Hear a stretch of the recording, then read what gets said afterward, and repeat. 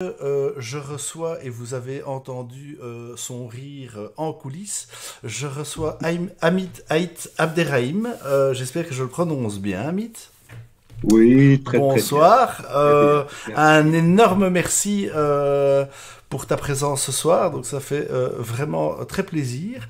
Euh, J'aime beaucoup le cadrage avec le, la, la, bibliothèque légèrement en perspective et un chouette éclairage de, de premier plan. Donc ça c'est euh, c'est pas mal. Et bonjour à tout le monde, hein, euh, en tout cas à ceux qui se manifestent dans le chat euh, et aux autres aussi évidemment. Mais par contre je ne peux pas les nommer. Donc bienvenue Mathéouche, bienvenue Loot, bienvenue Tanguy, bienvenue tout le monde. Hein, N'hésitez pas. Alors.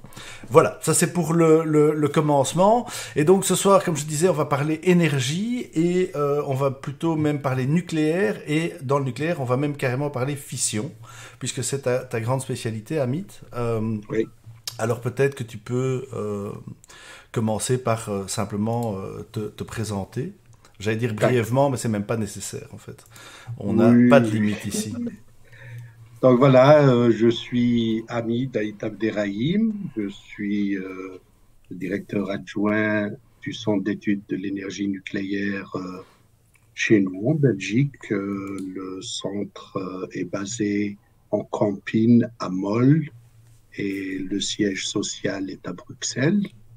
Et puis, que puis-je dire d'autre? Je donne des cours de génie nucléaire à l'UC Louvain, Louvain-la-Neuve.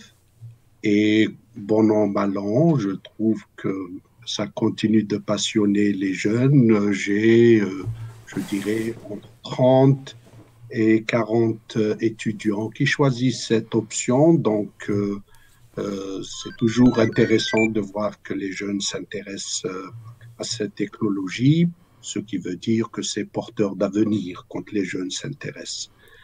Et d'autre part, euh, je suis le directeur du projet MIRA, qui est un projet innovant dans la technologie du nucléaire, euh, sur lequel je toucherai peut-être quelques petits mots quand on parlera des problèmes liés euh, aux déchets euh, nucléaires. Tout à fait. Mais, mais ça, ça c'est seulement pour dresser le tableau qui je suis, voilà. Ben écoute, merci, ça, ça, a le mérite d'être très clair et donc ça fait euh, ça fait déjà donc un, moment que tu euh, que tu creuses la question du nucléaire. Euh, donc on, on, a alors bon pour pour ceux qui n'étaient pas là lors des épisodes précédents, euh, j'ai déjà reçu euh, deux de tes collègues hein, puisque il y a euh, presque un an je recevais Sarah Batou oui. et on parlait de recherche spatiale et de, justement de, de radiation et, et, autres. Et il y a quelques mois j'ai reçu Vincent Massot qui lui explore tout ce qui est fusion nucléaire. Et donc voilà, on parlait d'un avenir de l'énergie plus distant, mais voilà, comme ça vous savez, ceci n'est pas le, la première fois qu'on reçoit les, les, les, les gens du, du, centre de recherche nucléaire et c'est toujours très très intéressant, faut bien l'avouer. Euh, ils ont le chic pour euh, engager des passionnés et comme je dis toujours, les passionnés c'est passionnant. Donc euh, voilà, je suis vraiment ravi de te recevoir ce soir, Hamid. Euh, merci encore d'avoir accepté l'invitation. Alors peut-être peut-être on peut on peut rappeler qu'est-ce que le, ben, le, le SCK le scan, je sais pas comment on dit cet acronyme, euh, le centre de recherche. on dit. Voilà, on dit c'est donc le centre de recherche euh, nucléaire justement. Qu'est-ce que vous faites à Moll là-bas et qu'est-ce que le projet Mira et qu'est-ce en quoi il consiste? D'accord. Euh, ben écoutez, le centre d'études de l'énergie nucléaire, c'est en, en, français et SCK, c'est la même chose sauf que c'est en néerlandais puisque nous sommes un institut fédéral, Studiecentrum voor Kernenergie. Euh, et euh, nous faisons de la recherche dans toutes les applications, je dirais, de l'énergie nucléaire, à savoir la recherche effectivement, puisque le, on est le berceau du nucléaire en Belgique euh, depuis euh, 52. Donc nous, cette année, en fait, les 70 ans de notre. Donc, euh, on est une organisation respectable, mais pas encore retraitée. On travaille bien au-delà des 65 ou 67 ans. Comme organisation, on va, on espère euh, travailler encore beaucoup d'années. Et euh, c'est pour ça qu'on invente le nucléaire du futur. Explore a Better Tomorrow. Ça, c'est la tagline de chez nous. Et la recherche, elle a, je dirais, le chic, et je dirais pas seulement le chic, mais le devoir d'anticiper sur ce qui nous attend. Donc on doit quelque part réfléchir 30 ans, voire des fois 40 ans à l'avance ce que nous devrions faire. Qu'est-ce qu'elle est, quel est nucléaire de demain? Mais pas seulement pour l'énergie, ça bien sûr euh, c'est un sujet, mais nous travaillons aussi sur cette problématique des déchets nucléaires qui est un défi pour la société d'aujourd'hui. Et nous avons commencé à travailler quand le premier réacteur nucléaire a commencé à produire de l'électricité en Belgique, Doule 1 4, le centre de Moll a commencé à travailler sur comment on va gérer les déchets hautement radioactifs. Dans le laboratoire souterrain qui existe à moins de 130 mètres euh, chez nous. Quelque chose d'unique au monde. On était les premiers à faire un tel laboratoire. Le, le nucléaire, donc, on a produit commercialement en 74. Et bien, en Belgique, on a commencé dès le milieu des années 50 à penser à ça. Et en 62, on a construit le premier réacteur de production d'électricité sur le site de Moll. C'est le BR3. Avant lui, il y a eu BR1, BR2, qui sont des réacteurs de recherche. Nous avons aussi développé la médecine nucléaire au départ en produisant les radioisotopes en petite quantité. C'était le démarrage dans les années 60, 70. Et puis aujourd'hui, euh, grâce notamment à notre réacteur de recherche PR2, on peut, on produit en moyenne 25% du marché mondial du radioisotope médical. Et on pourrait, en situation de pic, produire jusqu'à 60% des besoins du monde. et la Belgique, c'est pas seulement à cause du centre, mais grâce à ça, c'est un player, un, joueur mondial dans tous les aspects de la médecine nucléaire. On a nos hôpitaux qui sont à la pointe, on a des producteurs de radiopharmacie euh, qui sont à la pointe, on a les radioisotopes par réacteur, on a les radioisotopes par accélérateur, notamment grâce à la compagnie IBA. On a l'Institut des radioéléments à Fleurus, où on fait aussi de la production des radioisotopes vers l'utilisation médicale. Le centre s'occupe aussi de tout ce qui est, vous l'avez dit, grâce à mes deux collègues qui sont déjà passés chez vous dans le domaine du spatial on travaille euh, sur euh, la surveillance de la santé des astronautes ou des cosmonautes ou des spationautes, ça dépend. Taïkonautes. Ils sont les taïkonautes aussi, on les prend avec nous, il n'y a pas de souci. et, et, alors donc en, gros donc euh, on, on est la, Belgique est, vraiment pionnier dans le domaine du nucléaire. Euh, dans différents domaines, effectivement. Et alors, en termes d'isotopes, donc, euh, ça a quel type d'application euh, Alors, les radioisotopes aujourd'hui qu'on produit, c'est pour le diagnostic comme pour la thérapie, pour les soins des cancers. Et aujourd'hui, le marché du radioisotope pour la médecine nucléaire, on s'oriente de plus en plus vers la thérapie. C'est un, un nouveau trend après le diagnostic. Aujourd'hui, on veut, dans le combat contre le cancer, développer des nouveaux radioisotopes que nous produisons déjà dans le BR2 et que nous allons aussi produire notamment grâce à l'accélérateur de Mira, euh, dont peut-être je, pourrais toucher un mot tout à l'heure. Tout à fait. Euh, Alors, bah il y avait aussi peut-être un sujet qui est très important dans notre portefeuille euh, d'activité, qui est ce qui touche euh, au démantèlement des installations nucléaires. Parce que, bon, euh, dans notre domaine, quand on arrive en fin de vie avec une installation, il faut, il faut se préoccuper de la démanteler en toute sécurité et avec des techniques adéquates. Tout à fait. Et là, nous avons aussi développé depuis maintenant 30 euh, ans toutes des techniques de, de démantèlement et on nous avons participé dans des projets démantèlement de réacteurs, d'usines de retraitement, d'accélérateurs, d'usines de combustible, etc. Tout à fait. Monsieur Massot dit, expliquait justement qu'il avait participé au, projet et qu'il avait développé une certaine expertise euh, sur le sujet, ce qui reste quand même un métier relativement niche, euh, il faut bien le dire. Tout à fait. ça n'arrive pas, pas, ni souvent ni, ni, ni tout le temps. Oui, non, mais c'est une vérité. Mais néanmoins, aujourd'hui, on arrive euh, tout doucement vers euh, la, situation où un, grand nombre de réacteurs commencent à arriver à leur fin de vie. Donc, on va commencer à avoir de plus en plus d'activités de démantèlement euh, sur les réacteurs de, de production d'électricité. Tout à fait. Et donc, il y a des techniques, effectivement, qui ont été développées d'abord en termes de recherche, d'optimisation, etc., qui aujourd'hui, on arrive euh, au moment de les industrialiser. Donc on a, on a quand même une, une riche histoire euh, dans, dans, le nucléaire euh, pour, un, pour un si petit pays. Euh, c'est quand même quelque chose qui, qui, qui, a occupé une place, une, place prépondérante et on est présent dans, dans, dans, beaucoup de domaines. Donc la recherche sur la fusion, la, la, la, création, le démantèlement, la médecine, l'espace. ah voilà. Les accélérateurs je vous rajouterai les accélérateurs. Il ne faut pas sous-estimer tout le travail de, la technologie d'accélérateur qu'on a développé dans notre pays.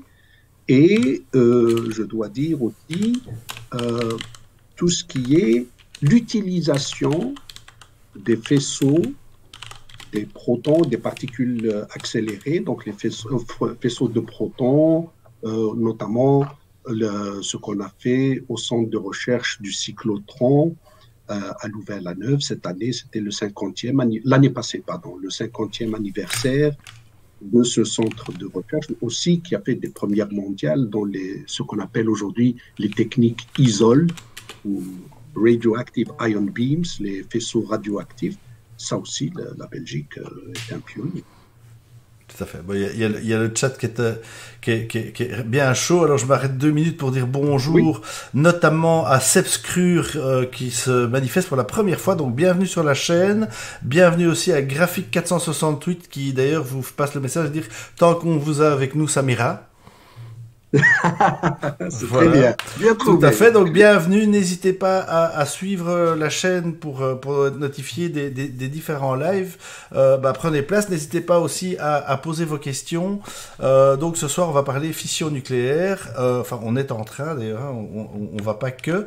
Et donc, voilà. Donc, on, on passait les, les, les différentes les différentes introductions. Et donc, pour commencer par une question, euh, somme toute, un peu triviale et bateau, mais euh, qu'est-ce que c'est le nucléaire et qu'est-ce que c'est la fission? On a déjà eu l'occasion d'avoir différentes explications, mais je trouve que pour, vu qu'on va en parler en long, en large et en travers, c'est peut-être déjà pas mal de, de, de, parler de ça.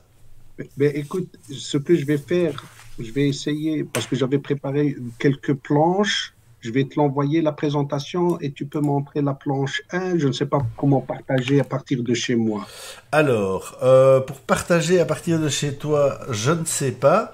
Tu peux non, non, pour m'envoyer ah, ton mail. Donc le mail, euh, le mail, je vais l'envoyer donc dans le, le, chat. Un petit instant, dans le chat euh, de notre session à nous. Je, je te l'avais déjà envoyé, mais sinon tu peux utiliser celui avec lequel on communique. Hein. Ah oui, d'accord, ça va, je vais te l'envoyer. Tout simplement. Euh, voilà. Alors oui, effectivement, bon, bonjour Falcombe, euh, Falcombe 7. Euh, ben, je vais demander, donc, Matt, mon, mon, mon éternel compagnon Twitch, va peut-être prendre la question et, et, et, la mettre dedans. On va effectivement dérouler je la, et je la placerai au, au moment le plus opportun. D'accord. Voilà, bienvenue. Et en attendant, j'attends, j'attends ta présentation alors que... Ça va me prendre deux secondes, je l'envoie. Hop, hop, hop, hop. On est entre nous. Non, non, non, je t'en prie. Écoute, je voulais le faire avant. tout le temps et il y a eu un sabotage de, de, de format. Alors, probablement des discussions autour du générateur de quatrième génération et filière thorium ou pas. Oui, oui, tout à fait. Alors, l'explication des différentes générations, ça fait partie des questions euh, que j'ai dans, dans, dans, ma liste. Et euh, voilà, Hamid semblait de toute façon euh, prêt à en discuter avant même que euh, on amène le sujet. Donc, voilà, ça c'est évidemment l'avantage ah, d'avoir des gens qui sont non seulement spécialistes, mais en plus euh, enseignants dans le domaine. C'est euh, qu'évidemment, ils ont un sens de la pédagogie. Alors, donc un petit instant, hein, on va, on, j'attends. Je suis en train d'envoyer le. C'est parti normalement. Pas de souci. J'attends, je réceptionne. Et donc, euh, pif paf pof. Alors, alors. J'attends, j'attends que ça arrive gentiment. Écoute, pendant ce temps-là, donc je vais lire ah. la, la, question de Facon, Falcombe, pardon, j'ai pas une super bonne vue. Donc, une question qui pourrait être abordée plus tard dans la soirée comment attirer des investissements dans une filière pour laquelle l'incertitude politique est aussi importante? Les investisseurs recherchent le, le, rendement financier dans un contexte stable et avec le moins de risques possible en termes de garantie de retour sur investissement. En Belgique, l'incertitude politique complique les volontés d'investissement, d'où ma question comment rendre le secteur attractif? C'est une très bonne question. Euh, de toute façon, on, on, va effectivement parler des, euh, des et bas du, du nucléaire, mais moi j'ai plutôt l'impression que le, nucléaire euh, refait son, son retour euh, dans le... Enfin, sa, presse s'améliore, j'ai l'impression, mais voilà, je, c'est peut-être partiel comme, euh, comme point de vue. Je n'ai pas ta présentation. Donc, je propose qu'on commence. Elle est en train de partir parce ah, voilà. j'ai vu que mon, mon VPN était déconnecté. D'accord, pas de souci. Alors, si, si je peux je t'en prie. Ah. Alors, je pense que le VPN a... je pense que le VPN a, sauté. Donc, un, petit instant, les amis. Euh, je pense... Salut Groovebox. Je pense que le, VPN et l'envoi du, l'envoi du fichier ont, eu raison de la connexion. Euh, donc, un petit instant. Je vais, je vais euh, le le, le recontacter. Donc ne bougez pas, je vais faire ça en direct avec vous. Hop.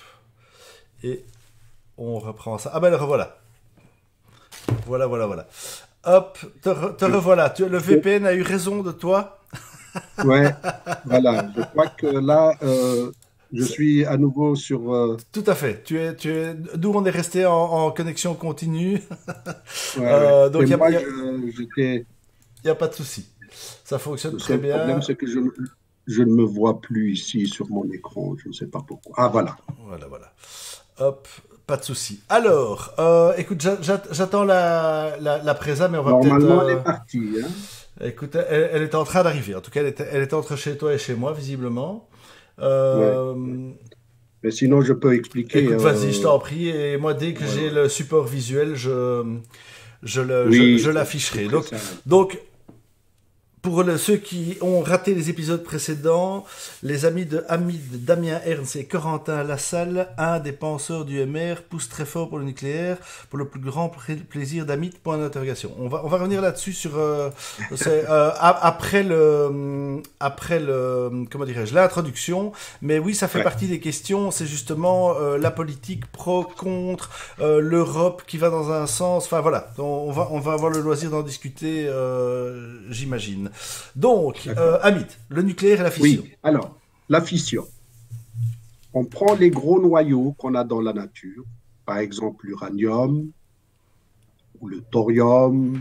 Les, gros, noyaux d'atomes, parce que sinon il y a la pêche, mais ça ne marche pas. oui, oui, non. je parle des gros, les gros éléments donc, dans la nature, euh, donc le tableau de Mendeleïev. Vous avez à fond d'échelle le l'élément 92, donc Z92, et il a 230, là, une masse atomique de 238 ou 235. Alors, si on va le bombarder avec un neutron, eh bien, vous allez le casser en deux morceaux. C'est ça la réaction de fission. Et voilà. Le slide Et alors, en support. Voilà, j'ai le, le support, j'ai mis le premier. Le premier normalement. Tout à fait Le seul problème, c'est que mon écran est gelé, donc je ne vois plus euh, ce qui se passe. Euh, D'accord. Alors, j'ai le, le, slide 1 avec la réaction de la fission, comme ça tu sais. Oui, voilà.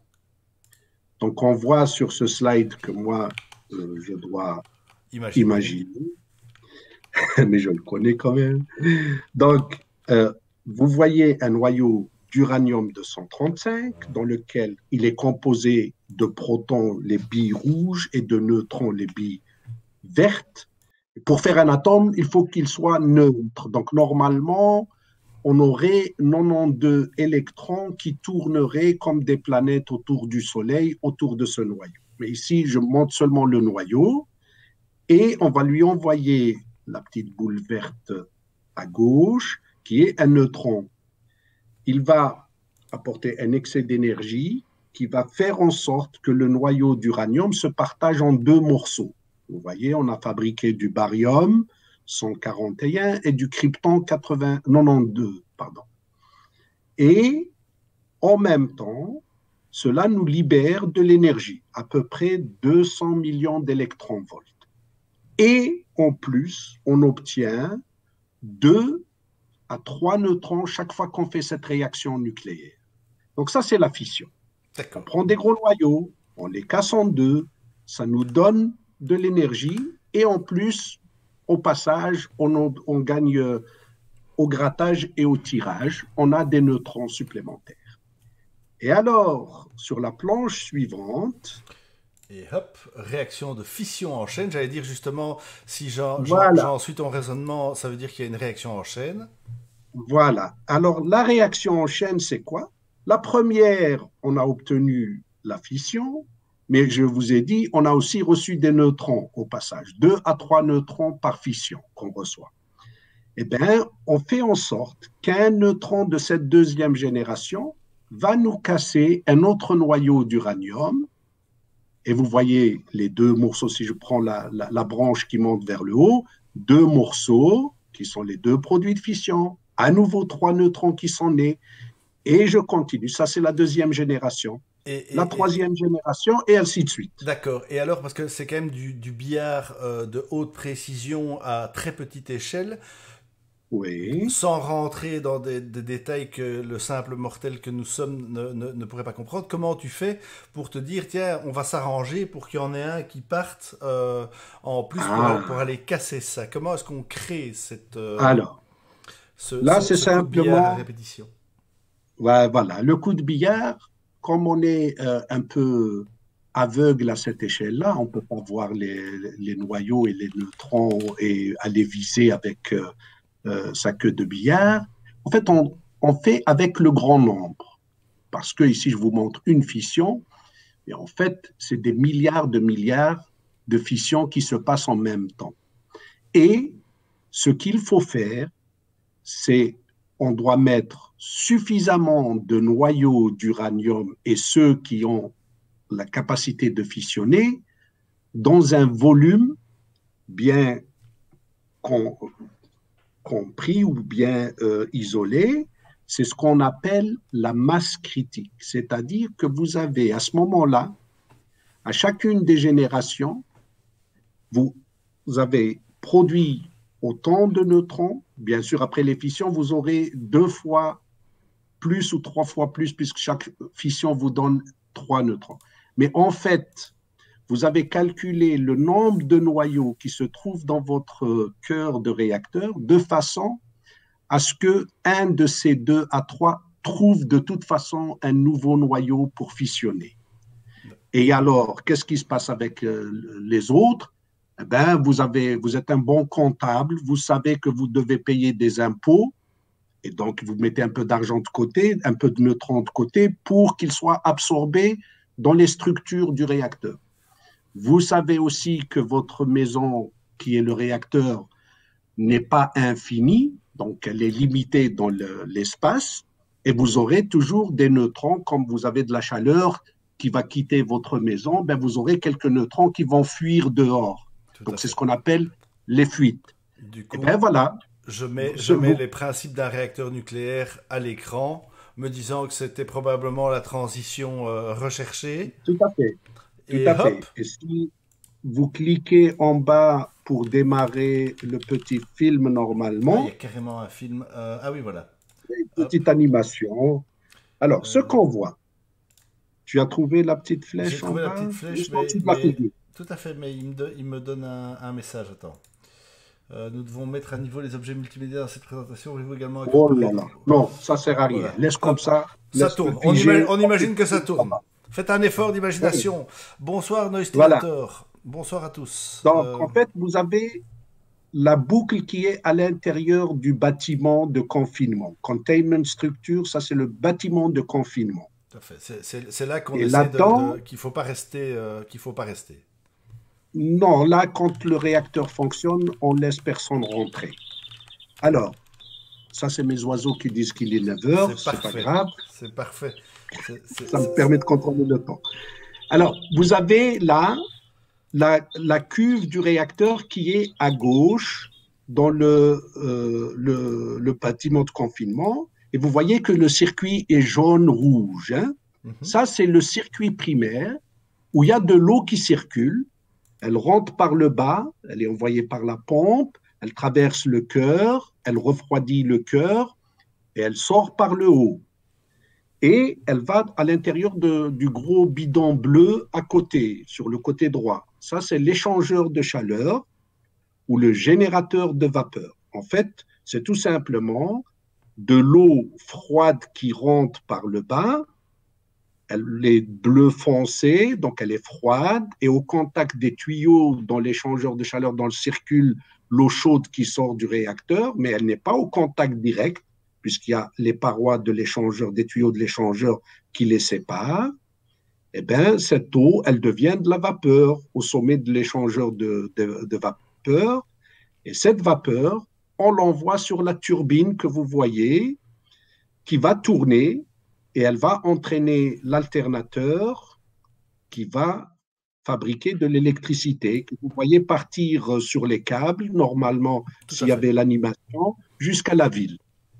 Et alors, vous avez le troisième circuit bleu en bas, Quel condenseur. qui est le condenseur, parce que la vapeur qui va sortir de la turbine, il faut à nouveau la rendre liquide, et donc il nous faut une source froide, la source tertiaire, le circuit tertiaire.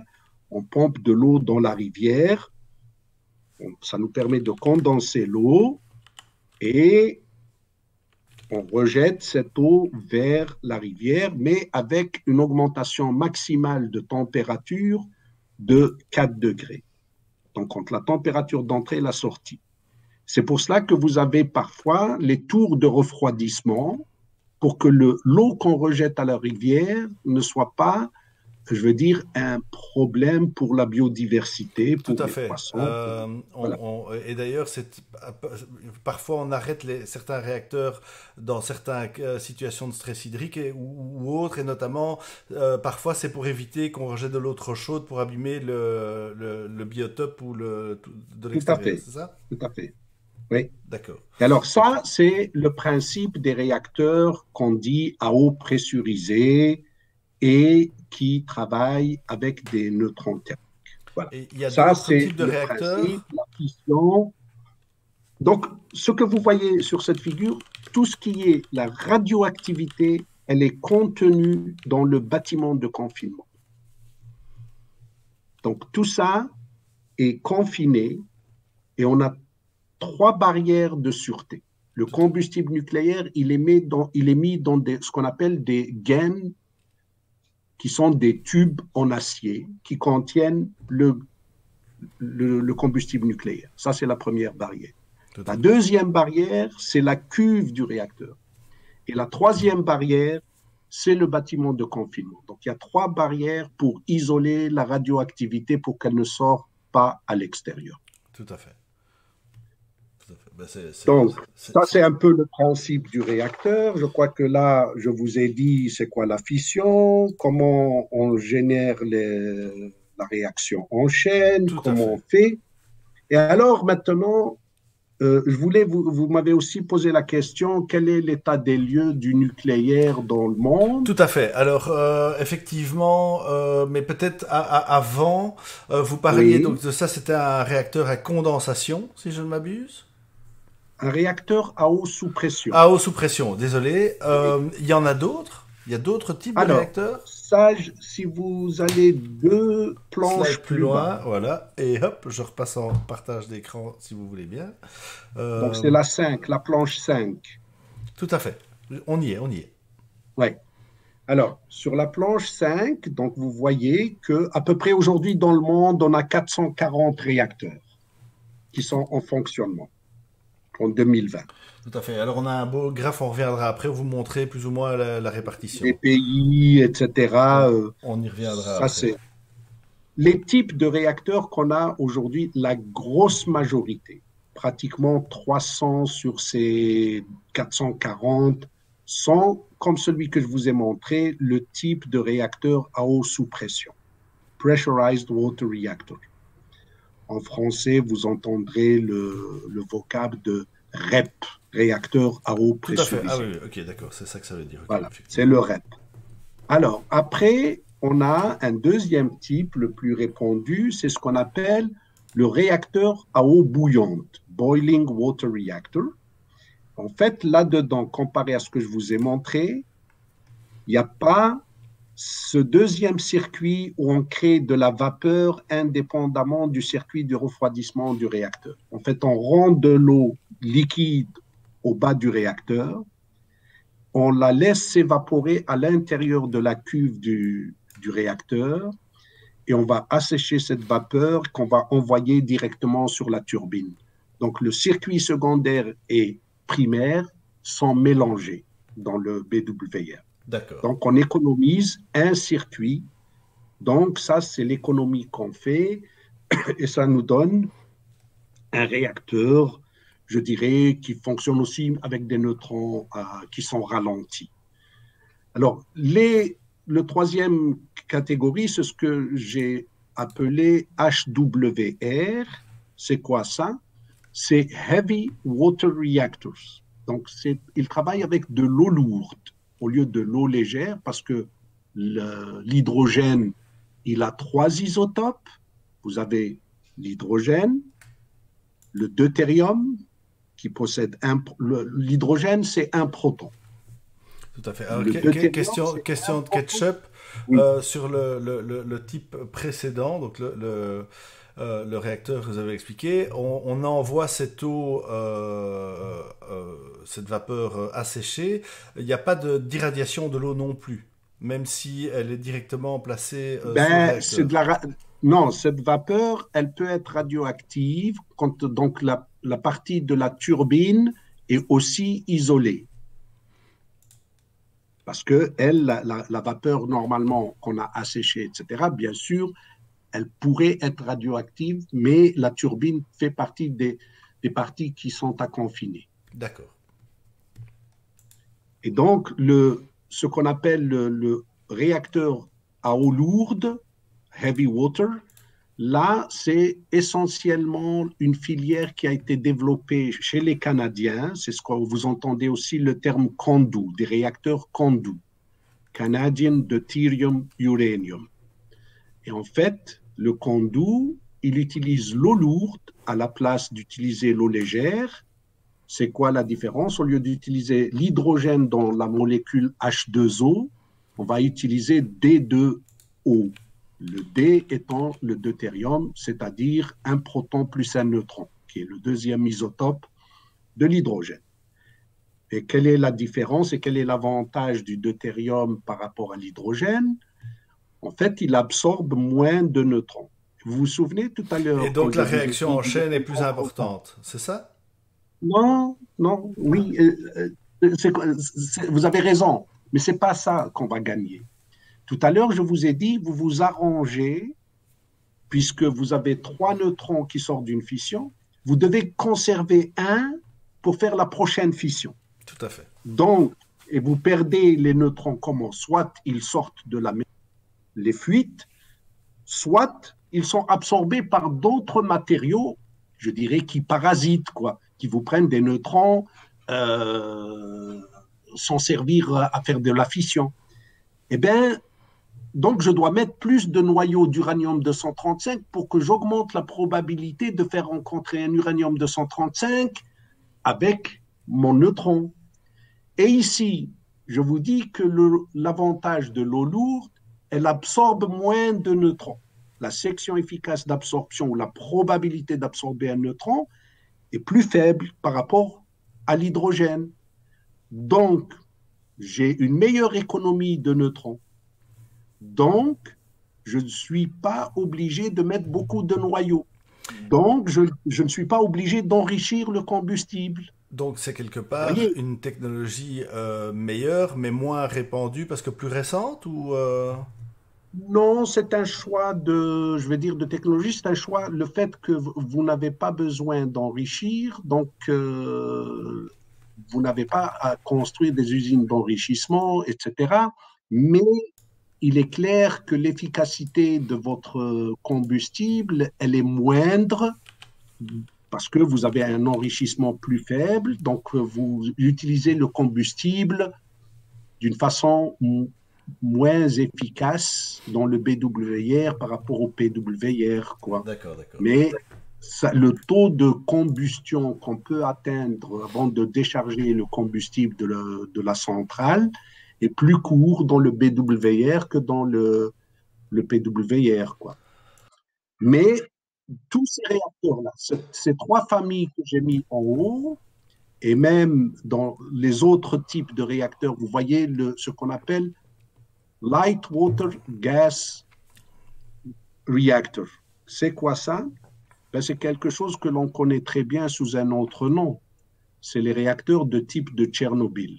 D'accord. on les refroidit avec de l'eau et le modérateur, parce qu'à quoi nous sert l'eau dans ces réacteurs-là? Il nous sert à refroidir, bien sûr, puisqu'on chauffe le combustible et on doit le refroidir. Mais il y a un autre aspect fait la présence de l'eau dans ces réacteurs, ce, ce qu'on appelle la modération, modérer les neutrons, ralentir les neutrons. Parce que tout à l'heure, je vous ai dit, on fait la fission, on casse le noyau en deux, et les neutrons qui sortent de la fission, ils ont une très grande énergie. Or, à ces énergies-là, la probabilité de faire une fission, elle est, je dirais, quasiment 100 fois plus petite que si j'étais avec des basses énergies. Alors, qu'est-ce qu'on fait faire à notre neutron? Là, on joue du billard. On joue le billard entre le neutron et le noyau d'hydrogène. Et comme ils ont une masse quasiment identique de 1, à chaque choc, le neutron va perdre la moitié de l'énergie initiale qu'il avait. Donc, on ralentit rapidement les neutrons. Et voilà pourquoi, parce que la probabilité de faire la réaction de fission est quasiment 100 fois plus élevée que à l'énergie de naissance des neutrons par fission. Donc là aussi, ça veut dire que je vais économiser la quantité d'uranium que je vais mettre dans mon réacteur. Donc tout est vraiment pour euh, diminuer l'utilisation de la matière, euh, je dirais, combustible dans, dans, le système. Alors, par contre, donc, dans le type de Tchernobyl, donc le LWGR, le Light Water euh, Graphite reactor, on ralentit les neutrons. Le jeu de billard, on le joue avec le graphite. Et le refroidissement, on le fait avec l'eau.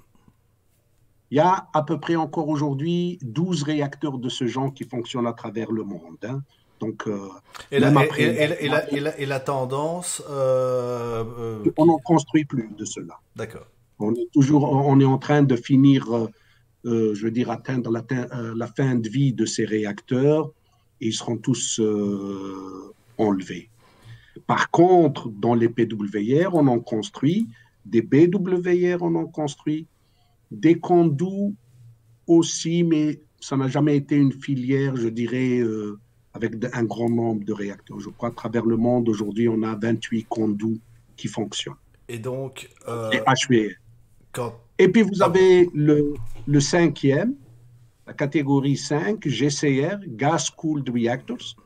Ceux-là, ils sont quasiment maintenant en déclin.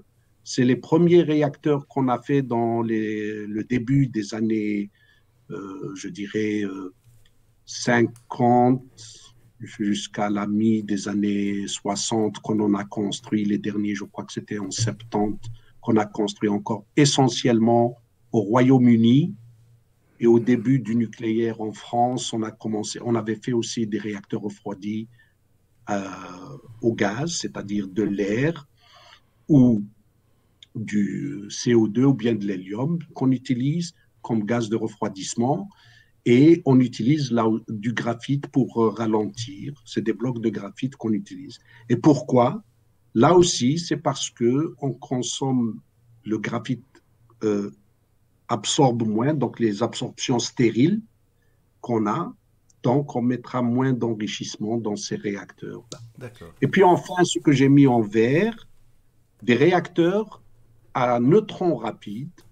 Alors ceux-là, on les appelle fast breed reactors parce qu'ils peuvent surgénérer même du combustible. Aujourd'hui, on en a deux en fonctionnement, tous les deux en Russie.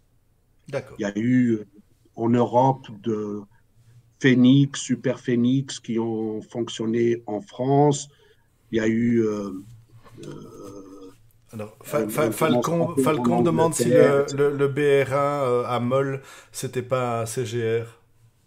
C'était un, un CGR, c'était pas CT, C. C. BR1 fonctionne toujours. Depuis 1956, il, il, est vaillant, il fonctionne toujours, avec le même chargement de combustible d'origine. D'accord. On, on, sent, on, sent, quand même que Falcon ici connaît un tout petit peu, parce que c'est pas du tout une question de nous. Euh, alors, euh, Far Ketchup pose la question de savoir quel type de réacteur était à Fukushima, du coup, dans, la, dans, la, dans, dans le Alors, BWR. Celui de Fukushima, c'était un BWR, un réacteur à eau bouillante. D'accord. Et canard Qu'on n'a pas chez nous. Chez nous, tous les réacteurs que nous avons, c'est des PWR. D'accord. Et la, tendance montante, donc euh, est-ce que euh, quand on parle de réacteurs de première, deuxième, troisième, quatrième génération, ça concerne un type de réacteur ou tous les réacteurs? Non. Alors, la première, non, ça concerne pas forcément un type, mais une époque. ce qu'on appelle les réacteurs de première génération, vous venez de parler de BR1, eh bien, c'est les réacteurs avec lesquels on a fait des prototypes, eh bien les premières centrales avec lesquelles on a produit de l'électricité, je dirais BR3 par exemple, c'est un, génération 1, Shipping Port, etc. Ce sont les premiers réacteurs avec lesquels on a appris le métier. Puis sont arrivés ce qu'on appelle aujourd'hui les réacteurs de deuxième génération. Eh ben, c'est comme nos sept réacteurs, c'est des réacteurs de deuxième génération. C'est ceux où on a pris les leçons apprises sur les prototypes, on les a implémentés, on a amélioré, et ils fonctionnent, ils produisent de l'électricité et euh, avec euh, la sûreté qu'il faut.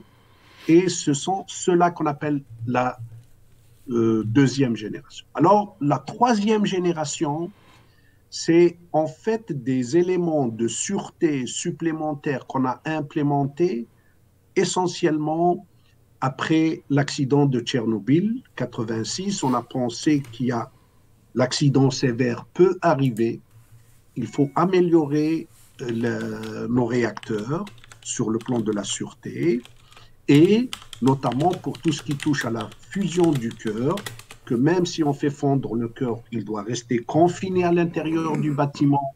Donc ce sont ces améliorations-là. Augmenter la sûreté passive, notamment dans la P1000, ça a été augmenté. Dans le, l'EPR euh, français, on a mis ce qu'on appelle un core catcher, un, récupérateur de cœur fondu en dessous de la cuve pour que ça reste à l'intérieur du bâtiment de confinement et qu'il ne, détériore pas le bâtiment de confinement. Donc ça, c'est les réacteurs de troisième génération. Je dirais, c'est le retour d'expérience de l'exploitation industrielle d'un grand nombre de réacteurs qu'on a implémenté dans la même technologie. Et alors, ce qu'on a appelé maintenant la quatrième génération, c'est un, je dirais, euh, un concept qui a été, ou euh, une idée qui a été démarré au début des années 2000, exactement en 99, où on s'est dit, en fait, aujourd'hui, les réacteurs euh, produisent de l'électricité, très bien, certains même ont été utilisés pour faire du dessalement d'eau de mer, mais il faut élargir l'assiette d'utilisation du nucléaire. Donc, aller au-delà de l'électricité. Si on va au-delà de l'électricité, il faut faire monter la température de fonctionnement des réacteurs. Jusqu'à quelle température? Eh bien, on a même osé dire qu'il faut qu'on aille jusqu'à au-delà de 1000 degrés de température de fonctionnement. Ça, c'est pour, par exemple, produire de l'hydrogène, produire de la chaleur industrielle. Certains process industriels pourraient utiliser alors cette chaleur, production d'ammoniac, et donc à ce moment-là, on, peut créer des conduits euh, qui permettent non seulement euh, certains conduits pour euh, aller distribuer de l'électricité, d'autres pour distribuer de la chaleur, d'autres pour distribuer de l'hydrogène, ou la chaleur industrielle doit être en périphérie du, du, réacteur. En même temps, on peut faire de la cogénération. Parce qu'en fait, si vous avez de la haute température, vous utilisez de la haute température en premier lieu pour le process industriel, mais vous pouvez faire après de la cogénération une fois vous, pour de l'électricité, vous pouvez faire de, de, chauffage, je dirais, à basse température, vous pourriez faire euh, en même temps du dessalement d'eau de mer euh, en parallèle. Quoi. Donc c'est ce qu'on appelle de la cogénération. Maintenant, vous ne pouvez pas faire peut-être trois choses en même temps, et donc il faut voir, le, je veux dire, la complémentarité des utilisations, ce qui vous rendra aussi une utilisation plus efficace. Donc le rendement total de l'utilisation de la chaleur de votre réacteur augmente. Donc ça aussi, l'aspect économique de, des process devient plus attrayant. Donc la rentabilité de, l'investissement. Tout à fait. Et donc ça, c'était un des critères. Le deuxième critère aussi que, qui a été mis pour euh, les générations 4, c'était de dire ils doivent produire moins de déchets radiotoxiques de haute toxicité qui nous empoisonnent la vie euh, tout le temps. On dit qu'il n'y a pas de solution. S'il y a des solutions. Le stockage géologique, je vous ai dit, on a commencé à l'étudier à Moll en 74 quand le Doul 1 a été branché au réseau. Donc on a des solutions techniques démontrées en laboratoire à des échelles assez importantes et représentatives, mais la difficulté, c'est surtout l'acceptation publique, euh, etc., le, fait qu'on parle de temps très long et qui dépasse, euh, je dirais, l'entendement par rapport à, nos dimensions d'humains. oui, tout à fait. C'est hors échelle. Euh, c'est voilà on, passe dans des échelles de temps qui ne sont plus, euh, sont plus des échelles humaines ou même historiques, on parle d'échelles géologiques. Et ça, je crois que c'est la grosse difficulté euh, par rapport l'acceptation. Aujourd'hui, si on doit dire qu'on a des, des, déchets hautement radioactifs qui sont très bien confinés, on peut gérer ça, il n'y a pas de souci, la couche géologique peut contenir ça, les études démontrent ça mais vous restez avec un, sentiment de danger potentiel euh, que vous laissez en plus aux générations futures et plusieurs générations. Ça ne passe pas dans le grand public et Alors, c'est humain. Tout à fait. Euh, en, en, en, matière de déchets, euh, justement, euh, parce que parfois je pense qu'il y, y, y a, une échelle qui, qui n'est pas aussi appréhendée. On, on, je ne sais plus si la métaphore est, est, est, exacte en termes de chiffres. On disait que par habitant, sur une période de 30 ou 40 ans, ça équivaut à une canette de, de coca de 33 centilitres. Ça c'est correct. C'est pas des, de la propagande, ce n'est pas des ragots pour tous les, nos centrales nucléaires, hein, les sept réacteurs ici chez nous, en fait, euh, après 40 ans de fonctionnement, et même ceux qui ont eu une petite rouette de 10 ans, ça ne changera pas beaucoup à la quantité de déchets finaux. L'estimation faite, c'est un terrain de football pour les déchets hautement radioactifs sur une hauteur de 50 cm. Voilà. Donc, C'est de là qu'on parle. Maintenant, même ça, aujourd'hui, nous travaillons chez nous à MOL, et pas seulement à MOL, dans différents laboratoires européens, mais nous avons le fameux projet MIRA, sur lesquels on travaille pour réduire la radiotoxicité, pour la ramener encore plus bas euh, dans, le, dans le temps jusqu'à une échelle de 300 ans. Mais si tu permets, je voulais sur ce, la planche qui est là avec les différents types de réacteurs, qui est très importante à voir. Tout à fait, je la remets. Voilà, voilà. Donc la phrase en rouge en bas, qu'est-ce que je dis? La difficulté ou le, l'inconvénient de ces réacteurs qui travaillent avec de l'uranium euh, enrichi ou pas, mais avec un spectre de neutrons thermiques, donc des neutrons qui ont été ralentis. Hein. Ils ont joué au billard, puis ils arrivent euh, aux basses énergies pour faire la fission. Finalement, ils n'utilisent du potentiel qu'on a dans l'uranium que 1% de son potentiel énergétique. Pourquoi? Parce qu'on ne retraite pas. Si on retraite et on récupère l'uranium dans une tonne de combustible usé qui sort d'une centrale nucléaire, on a encore dedans 935 kilos d'uranium, on a fabriqué 12 kilos de plutonium et on a fabriqué 2 kilos et demi de ce qu'on appelle les actinides mineurs, qui sont en fait des, euh, comment dirais-je, des, euh, des noyaux plus lourds que euh, que l'uranium et le plutonium. C'est ce qu'on appelle l'américium, curium, etc. Donc cela, 2,5 kg et demi, et vous n'avez transmuté ou cassé pour faire de l'énergie 50 kg. Voilà. Donc sur une tonne, il y a 50 kg de déchets et vous avez 950 kg moins 800 grammes que vous avez transformé par E égale mc carré euh, en, énergie, que vous pourriez réutiliser.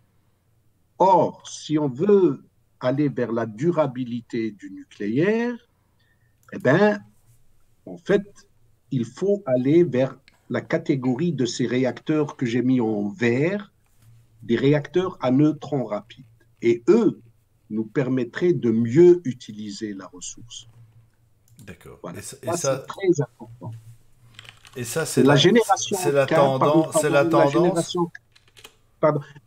Ben non, c'est pas la tendance, mais dans les critères de génération 4, on dit qu'il faut mieux utiliser la ressource nucléaire. Et ce qui nous permettrait de le faire, c'est de passer vers des réacteurs à neutrons rapides. Ce n'est pas que ça n'a pas existé ou ça n'existe pas, il y a eu dès le départ du nucléaire l'idée qu'il faut aller vers les réacteurs rapides était présente dans l'esprit des gens.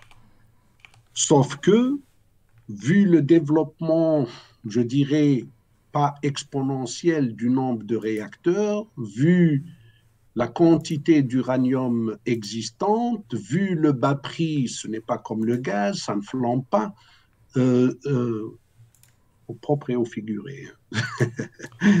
Euh,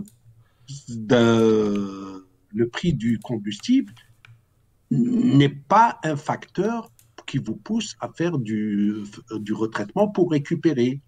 Mais maintenant, si on va dans un souci de durabilité, parce que si on reste dans la technologie de ces réacteurs thermiques, ben, aujourd'hui, les réserves avérées, connues pour un prix raisonnable d'exploitation aux alentours jusqu'à 80 dollars le kilo de, du 3 au 8, on en a pour 200 ans. Et c'est ce que j'essaye de montrer sur la planche 7. Alors, la 7, hop, maîtrise totale du slideware, voilà, voilà. On y est, donc un meilleur, une meilleure utilisation des, des, ressources d'uranium. Euh, des ressources. Tout à fait. Voilà. Et là, ce qu'on voit sur cette coupe, donc le graphique euh, de, de, gauche nous montre les réserves mondiales avérées, qui sont à un prix, donc je veux dire, euh, de, si mes souvenirs sont bons sur ce graphique, c'est 10, c'était encore 10 dollars par kilogramme du 3 au 8. Et vous voyez qu'on est aux alentours de 3 millions et demi de tonnes de, combustible, donc d'uranium exploitable. Si on prend les ressources non, euh, comment dirais-je, euh,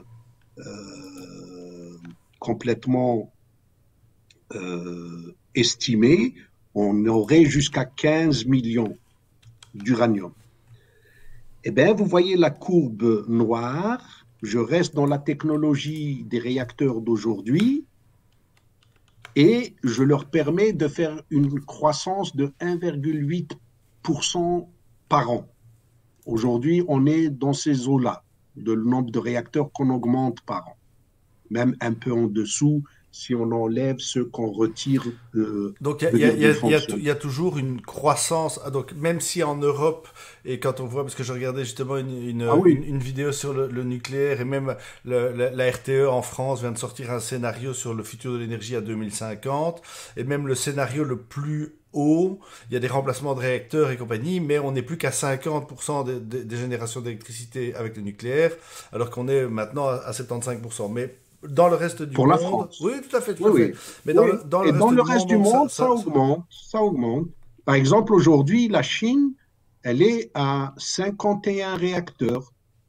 Il y a 10 ans, euh, elle avait euh, à peine 14. Euh, oui, évidemment. voilà. Quand ils bougent, ils bougent. Hein. Par rapport à leurs besoins, normalement, ce qu'ils avaient prévu pour 2100, ils auraient 450 réacteurs, le même nombre de, sur toute la planète. Ah quand même. Ça, c'est les plans chinois pour les réacteurs. Et c'est pour cela que eux, aujourd'hui, si vous voyez le, pays qui investit dans toutes les technologies euh, de type de réacteur, ils viennent de démarrer fin de l'année passée un réacteur à haute température, un des concepts de quatrième génération, pour justement éventuellement faire aussi de l'hydrogène avec, eh ben, ils viennent de démarrer un. D'ailleurs, c'est ce qu'on appelle un twin reactor, donc euh, deux jumeaux de 210 mégawatts électriques chacun. Ils viennent de le démarrer. Ils sont en train de regarder le cycle du thorium. Ils sont en train de regarder le, les sels fondus. Donc, ils regardent tout azimut. Tout à fait. Ils sont en train de construire rapide. Et ça, et ça c'est très chinois, euh, c'est qu'ils expérimentent très rapidement plein de solutions, ils attendent un petit peu, et puis ils regardent ce qui fonctionne, et puis ensuite ils, ils, reprennent et ils scalent euh, sur... Euh, non, je crois que le problème est différent. Nous, en fait, on choisit la couleur de notre électricité. Et eux, ils ont besoin d'électricité. Il faut savoir que tous les quatre jours, il y a une centrale au charbon qui pousse. Et la pollution, ils ont vu que ça tue beaucoup de gens. C'est pour cela qu'ils ont un tel programme ambitieux, que ce soit pour le nucléaire, que ce soit pour les, panneaux solaires, que ce soit pour l'éolien. Donc, ils sont engagés dans ça avec l'objectif de réduire le plus possible les, euh, euh, je veux dire, les centrales au charbon d'abord, et ensuite, ils vont pas avoir suffisamment, que ce soit pour le renouvelable, que ce soit pour le nucléaire. Euh, si vous voulez voir finalement, le, vous remontez la, slide, je crois, 5, si mes souvenirs sont bons. Alors, je vais revenir sur la slide. On voit les pays. Ah oui, non, c'est la, 4. La, 4, la 4. Je reviens sur les slides. Voilà, hop. Slide 4, voilà, voilà. Donc là, je sais pas, j'espère que c'est lisible pour euh, voir euh, clairement tout. Donc en fait, ce qu'on a aujourd'hui dans le monde, il y a 32 pays qui font de l'électricité nucléaire. 18 pays en Europe, 8 pays en Asie, 3 en Amérique du Nord, 2 en Amérique du Sud et 1 en Afrique. 440 réacteurs, 390 gigawatts électriques. Et vous voyez que la Chine, qui a commencé euh, il n'y a pas très longtemps. Elle a 51 réacteurs et ça ne fait que 5% de son électricité. Oui, tout à fait. Alors, vous regardez la France, qui est le premier, qui a 58 réacteurs, ça représente 71. Ça, c'est pour l'année 2019. Hein. Donc, euh, bien sûr, le taux de, fonctionnement euh, de, des réacteurs fait. Donc, si vous regardez pour nous, pour la Belgique, c'est indiqué 39%, mais 2019, vous savez qu'on avait encore euh, les soucis de, de, Tout à fait. justement, il y a une question. Voilà. Aujourd'hui, on est à 52% pour la Belgique. Aujourd'hui, 52% de notre électricité est produite avec des réacteurs. Petite parenthèse justement sur les, sur les, les, les, les fissures, parce que c'est posé dans le chat et je ne je voyais pas très bien où j'allais la placer, donc je, je la place maintenant. Euh, on parle de fission et depuis quelques années, on nous parle aussi des fissures sur bon nombre de bâtiments. Est-ce que c'est parce que les instruments de mesure sont plus précises qu'avant ou alors c'est la fabrication des structures qui ont changé ou elles s'usent plus avec le temps? Voilà. Mais a, priori, euh, Vincent Massot disait que euh, c'était pas très alarmant les fissures, mais non, les fissures, c'est euh, dont on a parlé pendant, je dirais, plusieurs années. Hein, c'est celle de Doul 3, oui, Doul 3 et Tionge 2, qui sont des, des bulles d'hydrogène qui sont restées dans le lingot avec lesquels on a fabriqué la cuve. Et à l'époque de la réception de ces cuves, les moyens de, mesure d'inclusion dans l'acier de la cuve ne permettaient pas de voir, et donc on a fait fonctionner ces réacteurs. Et euh, pour vous rassurer, sachez qu'il y a à peu près une vingtaine de réacteurs dans le monde qui ont le même souci. Hein. Il n'y a que les Belges qui ont fait un foin avec ça. Mais ça fait partie du jeu de regarder que c'est sûr. Et en fait, ça a été démontré, notamment par un travail euh, main dans la main avec Tractebel, avec Electrabel, et nous les avons supportés par un programme de recherche dans notre réacteur BR2. Pourquoi faut-il avoir des réacteurs de recherche Dans BR2, sur un mois d'irradiation, on peut simuler 40 ans de fonctionnement de la cuve d'une centrale nucléaire en un mois de temps. Donc, on accélère les phénomènes à cause de la densité de flux qu'on a dans notre réacteur de recherche. Et c'est à ça que servent les réacteurs de recherche. C'est de pouvoir lire l'avenir en ayant des performances bien supérieures par rapport à un réacteur de puissance qui, lui, doit produire de l'énergie. Bien sûr, la puissance totale du réacteur de Doul, allez, les gros réacteurs, ou de Tihange, les 1000 MW électriques, mm. ils ont une puissance thermique de 3000 MW. Le nôtre, le BR2, sa puissance thermique maximale, c'est 120. On le fait fonctionner à 60 MW thermique et pourtant, on produit des flux qui sont par rapport au cœur d'un réacteur de PWR 100 fois plus élevé. Mais la cuve, elle est plus loin que le cœur. Donc là, par rapport à, ce, à la cuve, on est 10 000 fois plus élevé au cœur, dans le cœur du BR2. Donc on peut accélérer les phénomènes d'une façon, euh, je dirais, extraordinaire. Et c'est ça qui nous a permis de regarder ces problèmes de fissures ou de bulles d'hydrogène que certains ont appelé des fissures, etc. Bon, euh, la, démonstration était faite, mais l'autorité de sûreté, sur base de, des analyses, etc., elle a pris des décisions de les laisser fonctionner sans problème. Puis après, il y a eu des études qui ont apporté que dans certaines conditions, donc la durée de vie pouvait être plus limitée pour cela. Nous sommes, nous, en tant que chercheurs, convaincus que les démonstrations en termes de sûreté ont été faites. Tout à fait. Alors justement, euh, on parle beaucoup d'innovation. Alors c'est pour, pour, pour, couvrir. Merci à Amit, c'est vraiment euh, c'est parfois un peu technique, mais c'est super intéressant et euh... non non non, mais c'est c'est enfin c'est logique. Je vois pas bien comment on peut parler de ça. Euh... il y a un moment, c'est un sujet qui est quand même un tout petit peu euh, technique, hein, comme dit.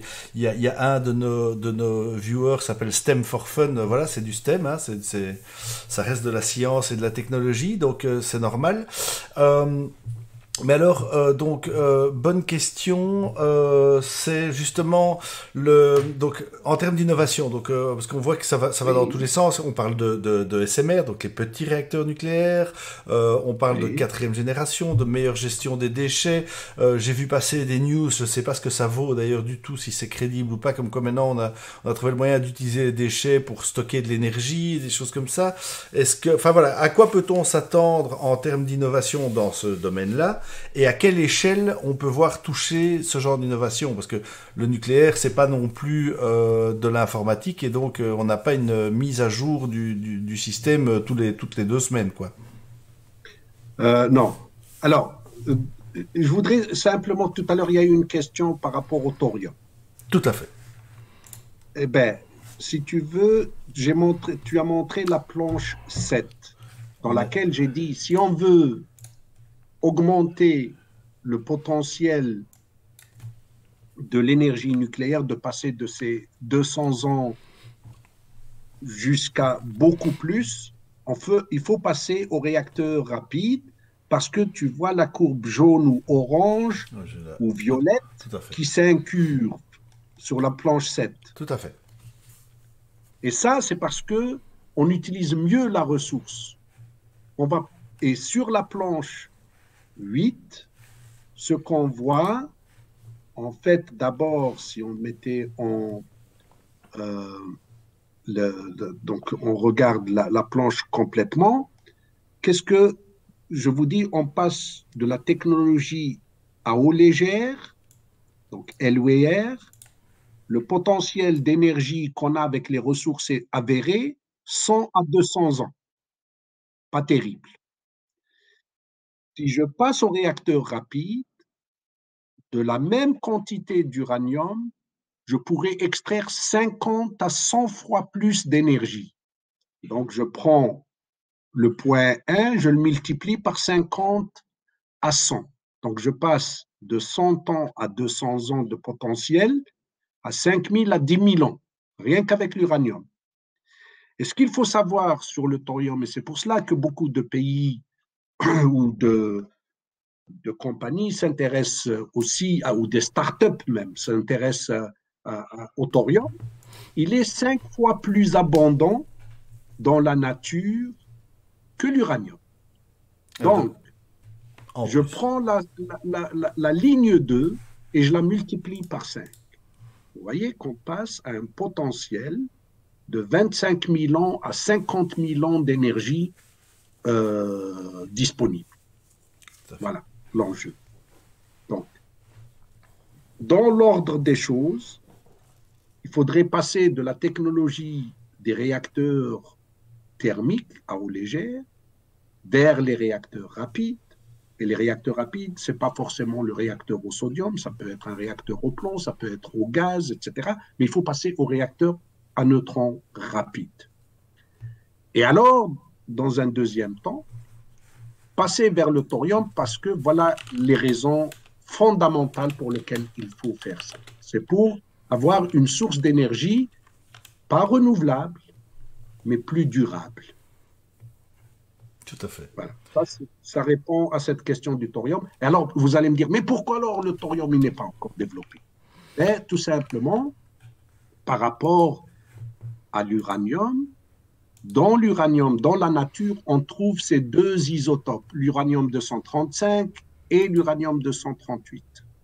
Et l'uranium 235, c'est lui qui peut fissionner rapidement avec des neutrons thermiques. Donc, avec un peu de matière, on peut commencer un réacteur.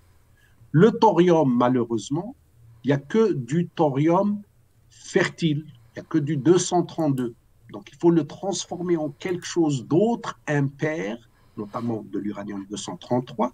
Donc il vous faut déjà des neutrons pour transformer le thorium en quelque chose qui peut fissionner facilement. et, et du coup, donc il y a- y, y beaucoup de stock, mais ça veut dire que le, le, le, le retour sur investissement énergétique est moindre avec le thorium ou, ou pas du tout? C'est un mauvais calcul. Non, non, non, c'est pas. Il faut le démarrer. Il faut démarrer le cycle avec quelque chose d'autre. Donc, par exemple, vous pourriez prendre de l'uranium 235 que vous allez mélanger avec votre thorium.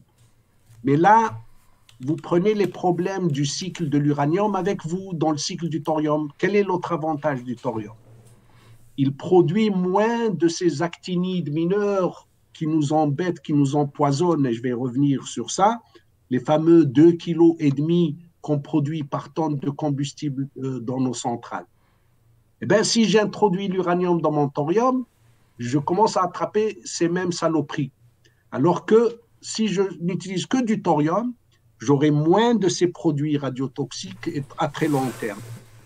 Donc, pour être puriste, il faut utiliser du thorium sans lui mettre, je dirais, un adjuvant, un spike, qui est de l'uranium 235. Il faut fabriquer de l'uranium 233 à partir de ce thorium. Et pour cela, ben, il vous faut des neutrons. Et les neutrons, soit vous les fabriquez avec un neutron à, l'uranium, c'est ce que par exemple les Indiens ont fait pour fabriquer une partie de leur uranium 233 pour alimenter des réacteurs au thorium. Tout à fait. Ou bien, avec un accélérateur, vous pourriez faire ça. D'où l'idée de nos recherches sur MIRA, ADS, Accelerator Driven System, intéresse beaucoup les gens du thorium. Parce que, avec ce concept, ils pourraient fabriquer de l'uranium 233 et l'utiliser avec leur thorium. D'accord. Et euh, alors ici il y a une question intéressante. Donc euh, je, je, parque, euh, si jamais dans le chat, n'oubliez pas de me le rappeler parce que vous connaissez mon, mon, attention voyageuse. en termes de géopolitique justement, l'uranium et versus le thorium, ça se trouve où Alors l'avantage de de ces minerais, en fait. Parce que l'uranium, il y a le Kazakhstan et, l'Afrique, notamment avec la, mine d'Arlit. Oui, mais il y, en a, euh, il y en a en Norvège. Par exemple, le thorium, un des gros pays du thorium, d'ailleurs, c'est pour ça qu'on l'appelle thorium, parce que c'est relatif au dieu des, de la mythologie scandinave, Thor. Ah oui, carrément. Oui, bah parce que le thorium a été découvert en 1813 par les Suédois, parce que les Norvégiens, ils ne travaillent pas, ils ont beaucoup d'argent, même depuis longtemps. c'est une boutade s'il y a des Norvégiens parmi nous, donc ils font travailler les Suédois. Et c'est un Suédois qui a trouvé le thorium euh, en Norvège en 1813. Et donc, le, la Norvège, elle a beaucoup de thorium. D'ailleurs, avec ses fonds euh, souverains qu'ils dégagent du pétrole du gaz qu'ils vendent, ils, vont, ils dédient un gros paquet de cet argent pour la recherche sur le thorium parce qu'ils disent c'est notre futur pétrole ou futur gaz qu'on va exploiter. Ils essayent de développer une filière thorium. Le Brésil a beaucoup. L'Inde a beaucoup de thorium. La Chine, elle a plus de thorium que d'uranium. Euh, le Kazakhstan, il a lui, c'est le premier producteur mondial d'uranium et il a aussi du thorium. La Turquie, elle a du thorium. L'Égypte a du thorium. Ah oui, donc ça, euh, c'est très réparti. Au Canada, il y en a. Euh, en Australie, il y en a. Donc, c'est difficile de faire des cartels comme on fait avec le pétrole ou le gaz aujourd'hui. Donc c'est plutôt une bonne nouvelle. D'un point de vue géopolitique, euh, je dirais, euh, il est très difficile de faire des cartels parce qu'on a ces deux minerais qui sont euh, dans des pays avec des, de la géopolitique complètement diamétralement opposée. Pardon. Euh, ok, euh, alors pour revenir, comme je ne l'ai pas oublié, donc je suis super content, euh, on parlait justement de toutes ces innovations et, ces changements. Oui. toutes ces décisions qui, qui sont prises maintenant, ça, se, ça se pilote à quelle échelle de temps? Euh, des, des, projets nucléaires. Et surtout, après, on, reviendra en plus avec le bordel politique euh, qu'on a notamment en Europe et euh, avec ceux, qui, ceux qui changent d'avis, ceux qui continuent à sortir du nucléaire, ceux qui disent oui, mais peut-être que non. Enfin bref. Voilà. Mais la politique après. D'abord, techniquement parlant, euh, ça se déploie sur quel type de durée Et alors, il y avait une question sur le, risque de perte de connaissance. Euh, où est-ce que je l'ai mis Celle-là, euh, justement, ah à, cause des délais. Est-ce qu'il n'y a pas un risque à un moment de perte de connaissance Oui. Oui. Alors, si tu veux bien aller à la planche Je crois que cette innovation, etc., est un peu liée aussi aux aspects du SMR. Tout à fait, oui, on parle du SMR. Et là, j'ai une grosse image qui manque. Ça doit être le slide 12. Ah. Non, non, euh, va au 14 carrément. Au 14 carrément. Et, là, j'ai euh, des images qui ne manquent pas. Et ça, c'est chouette. Ah ben non. Et voilà. Paf. Paf. Donc, aujourd'hui, c'est vrai, on parlait de quatrième génération, qui sont des réacteurs qui utiliseraient mieux la ressource, qui pourraient en fait fabriquer moins de déchets nucléaires, qui résistent à la prolifération, euh, qui, ont, qui doivent éviter l'accident sévère, notamment par de la, du refroidissement euh, par circulation naturelle. Ça, c'est des choses qu'on met en avant dans tout ce qu'on fait comme développement aujourd'hui dans le SMR. Quand on parle de SMR, en fait, on a deux SMR en fonctionnement dans notre pays, c'est Doule 1 et 2. Puisque c'est 300 MW électriques, c'est la limite supérieure. Maintenant, est-ce que 380, c'est 300 ou 400 Vous voyez, hein, donc... Euh, on va pas chipoter, hein voilà, on va pas chipoter, quoi. On enlève les lunettes et on voit le vide comme un zéro. Mais bon, non, blague à part. Mais vous savez, ces nuances de, chiffres complètement gelés comme ça, des fois, c'est un peu euh, ridicule. Mais bon. Alors, l'avantage du SMR, donc, c'est cette taille petite, et je vais vous dire pourquoi alors c'est intéressant. Aujourd'hui, il y a deux grosses familles du SMR, ceux à eau légère, qu'on pourrait déployer assez rapidement. Il y en a même qui sont déjà déployés en Russie. Tout le monde a entendu parler tout le temps de ce réacteur flottant ou le, sur barge ou sur euh, euh, qu'on appelle le Académicien Lomonosov.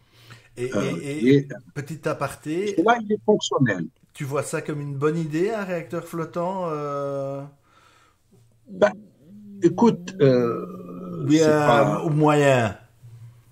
Non, c'est une bonne idée parce que ça, c'est des réacteurs que l'on peut aller placer là où ils doivent produire de l'électricité. Par exemple, sur euh, des chantiers en haute mer, au lieu de, de brûler de, de, du gaz pour extraire du gaz, on peut mettre une barge avec un réacteur. Et les, les risques, euh, alors de nouveau, je suis euh, probablement biaisé par euh, toute la psychose latente, mais les risques que ça foire, genre tout d'un coup l'insubmersible devient submersible et on, a, on donne un réacteur nucléaire sous-marin, c'est possible, pas possible dangereux, Il y a des sous-marins avec des réacteurs nucléaires. Oui. Donc, on, pourrait, au lieu de le mettre sur un bateau, on peut le mettre dans un sous-marin et tirer le câble. Donc, ça fait un peu d'imagination. Il y a même des concepts qui ont été prévus comme ça. Hein, ok. La GAPA. ok. Donc, voilà. Donc, toi, tu, ça t'affole pas, quoi. Non, honnêtement, bien sûr, il ne faut pas faire n'importe quoi. Il faut rester raisonnable, mais je veux dire, là, euh, il faut prendre les conditions de sûreté de Mais comme aujourd'hui, on ne va pas construire un réacteur euh, chez nous en Belgique, où on a une sismicité euh, quasi nulle, comment on construirait, même si on prend des séismes très importants en, ligne de compte pour nos, centrales nucléaires. Et pour même nos réacteurs de recherche, pour Mira qu'on est en train de vouloir construire à Moll, on doit répondre à des, euh, degrés de sismicité qui ne sont pas les, les, petits tremblements de terre qu'on a ressentis à Roermond. Hein. Tout à fait. Donc, euh, Alors, on demande comment est-ce qu'on gère le ballottement des vagues avec ce genre de réacteur flottant, si tu, si tu sais. Ben, le, le, réacteur, il, il, est dans sa structure. C'est toute la structure qui, qui peut balloter, mais euh, je, je ne vois pas. Aujourd'hui, je vous dis, il y a des, des brises-glaces qui fonctionnent avec des réacteurs euh, nucléaires. Il n'y a, a, a, a, pas de, je veux dire, de choses euh, euh, impossibles à, à, réaliser dans ça. Hein. D'accord. mais ça, j'ai parlé de ce. De, non, c'était une, une, petite aparté. désolé, on, désolé. C'était une petite aparté. On était sur les SMR, les SMR et le. Euh, comment dirais l'innovation. L'innovation et la, la, la, distance temporelle pour amener ces innovations. Voilà. Voilà. Donc, je vous dis, donc ces réacteurs, il y en a des démonstrateurs qui sont déjà faits, qui sont euh, en construction, et qui sont construits, qui sont fonctionnels. Je vous ai parlé de ce réacteur russe, je vous parlais tout à l'heure du HTR des Chinois. Il faut savoir qu'en Argentine, ils ont aussi euh, développé un réacteur intégré à eau qui a euh, le 25 MW de puissance électrique et ils ont dans leur carton un de 100 MW électriques, qui est la, la, deuxième génération de ce carême, il s'appelle, qui est en construction.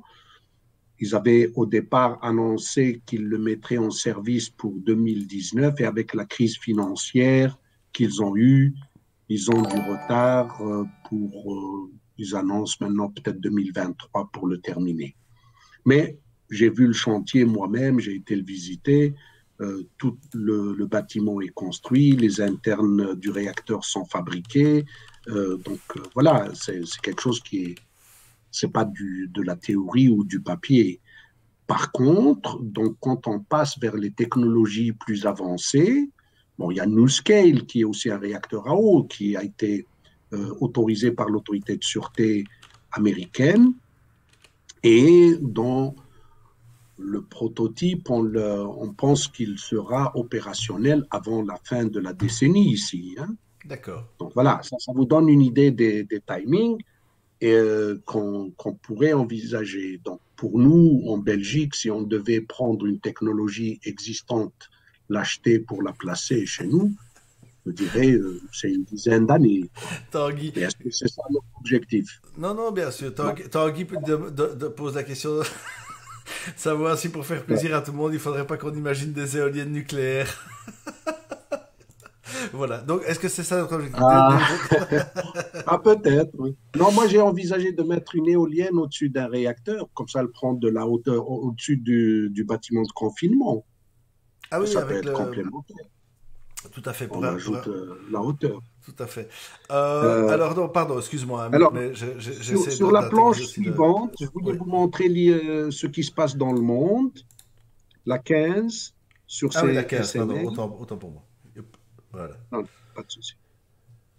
Donc là, ce que vous voyez, c'est le nombre d'initiatives actuellement en cours à travers le monde euh, sur ces, ces, initiatives de SMR. Vous voyez qu'il y a beaucoup de pays qui travaillent dessus, des pays qui envisagent de les mettre. Il y a donc les Russes du euh, KLT 40, ça c'est le, le, réacteur sur barge qui est fonctionnel depuis 2019. Il y a les Américains avec NuScale et il y a Hitachi euh, qui, avec euh, General Electric qui est aussi aux États-Unis le Canada qui met beaucoup d'argent pour le développement sur le SMR. Vous voyez l'initiative française de Nuard, dont on parle beaucoup avec euh, la déclaration du président Macron, avec euh, un milliard d'euros mis à disposition. Le Royaume-Uni, ça fait maintenant à peu près cinq ans qu'ils ont commencé à mettre un budget de l'ordre de 200 millions de euh, pounds de, livres sur un projet DSMR, mais là, ils font appel à des gens extérieurs ou à l'intérieur, et vous avez entendu de l'initiative de Rolls-Royce dans lesquelles euh, le Qatar veut mettre 100 millions euh, d'investissements. Donc, mais tout ça, c'est des réacteurs plus euh, basés sur la technologie à eau. Mais il y a d'autres projets plus avancé vers la technologie euh, rapide, au plomb, essentiellement, ou au sodium. En gros, si euh, pour, pour, revenir sur cette échelle de temporalité, faut compter des, des, des, des bons d'une dizaine d'années. Une dizaine d'années pour les, les, je dirais les, les, nouveaux arrivants, les, nouveaux, les nouvelles technologies euh, qui sont en train d'arriver. Les nouvelles technologies, il faut lui rajouter au moins 5, euh, une autre 5 à 10 ans pour vraiment arriver à la, la, pleine, plein pot d'industrialisation. Maintenant, vous savez, donc, pour, les, les, les, réacteurs à eau, comme tu dis, c'est une, dizaine d'années. Pour les, réacteurs au thorium, par exemple, on, verra ça dans 15 ans. Mais je dis très bien aussi que ça dépend de beaucoup de volonté, je dirais, euh, politique. Tout à l'heure, il y a quelqu'un qui a dit que les investissements dans le nucléaire demandent de la stabilité, etc. C'est vrai. Et il faut alors, à ce moment-là, un engagement dans la durée. Et euh, peut-être qu'en Europe, on aura plus de difficultés à ça, ce qui n'est pas le cas dans, je dirais, d'autres pays qui veulent, qui ont besoin d'énergie, quoi. Et ce que vous voyez sur cette carte, donc les pays du Sud, comme l'Argentine, comme le, Brésil, euh, même l'Australie veut s'intéresser maintenant aux réacteurs, euh, les petits réacteurs. Et finalement, ce qu'il faut voir sur cette carte, c'est ce que j'ai mis sur euh, la gauche, le niveau d'investissement. Vous avez quatre euh, ou cinq pays qui sont à hauteur du milliard, et les autres qui suivent la deuxième euh, division, je dirais, sont à hauteur de 100 millions. Ouais, clairement. Donc l'annonce par notre gouvernement n'est pas, n'est pas ridicule, attention. Hein. donc ce n'est pas euh, rien, ce n'est pas ça qui nous permettra de construire un réacteur, mais on est quand même euh, Il est 10 mieux que d'autres euh, pays plus grands que nous, quoi. mieux que le Brésil. Tout à fait. Il y a les oiseaux, il y a les oiseaux qui, donnent vraiment l'heure exacte. C'est dingue ça. À chaque, toutes les heures pile, ils chantent. Ah, oui, ah mais c'est un, oiseau mécanique en fait. Non, non, c'est pas vrai. Hein. C'est ah, oui, c'est seulement mon, horloge. Moi, je pensais que c'était un vrai. C'est un, un, moment, ma réflexion, je me dis non, ça, c'est pas possible. Euh, à, non, 9 heures, qu'un que, que oiseau fasse un, un, un, truc à 9 heures, mais je dis c'est pas possible que toutes les 60 minutes. ben oui, ben voilà, c'est quand on est concentré sur la fission nucléaire, on est parfois un peu moins critique. oui, oui, oui. Et alors? Par rapport à ces développements aussi du SMR, une chose qui est essentielle, c'est cette euh, sûreté passive. Et beaucoup de gens ne comprennent pas de c'est quoi. Et c'est pour cela que je l'ai mis sur la planche suivante. Alors c'est reparti pour la planche 16. La planche 16. 16. voilà, voilà, voilà. Alors, là, vous voyez de quoi parle-t-on finalement, quand on parle de passive safety ou sûreté passive, en fait, c'est tout bêtement un thermosiphon. Le cœur qui est au centre, dans laquelle vient le, liquide caloporteur, la flèche violette là qui rentre par le bas, donc là il est froid, il traverse le cœur, forcément que ce fluide va se réchauffer, que ce soit de l'eau, que ce soit un métal liquide, il va se réchauffer, donc il va extraire la chaleur. Il monte alors par gravité, euh, plutôt gravité diminuée, et il va vers la source froide qui est l'échangeur de chaleur. Et finalement, il se refroidit, il devient plus lourd et il va descendre. Et vous avez un mouvement quasiment perpétuel entre la source froide et la source chaude de votre liquide. Voilà, ça c'est la circulation naturelle. Et on l'a, par exemple, nous, dans le projet Mira, ce que vous voyez ici, c'est le concept du réacteur Mira. On l'a implémenté dans le réacteur de Mira et même on l'a prouvé de façon expérimentale dans une euh, expérience qui est à une échelle 1 sixième de la taille du réacteur de Mira, le vrai réacteur. On l'a fait à échelle 1, 1 sixième pour conserver toute la, je veux dire, la représentativité de la physique euh, et la thermohydraulique du réacteur, et avec tous ses composantes internes. Et donc voilà, c'est ça.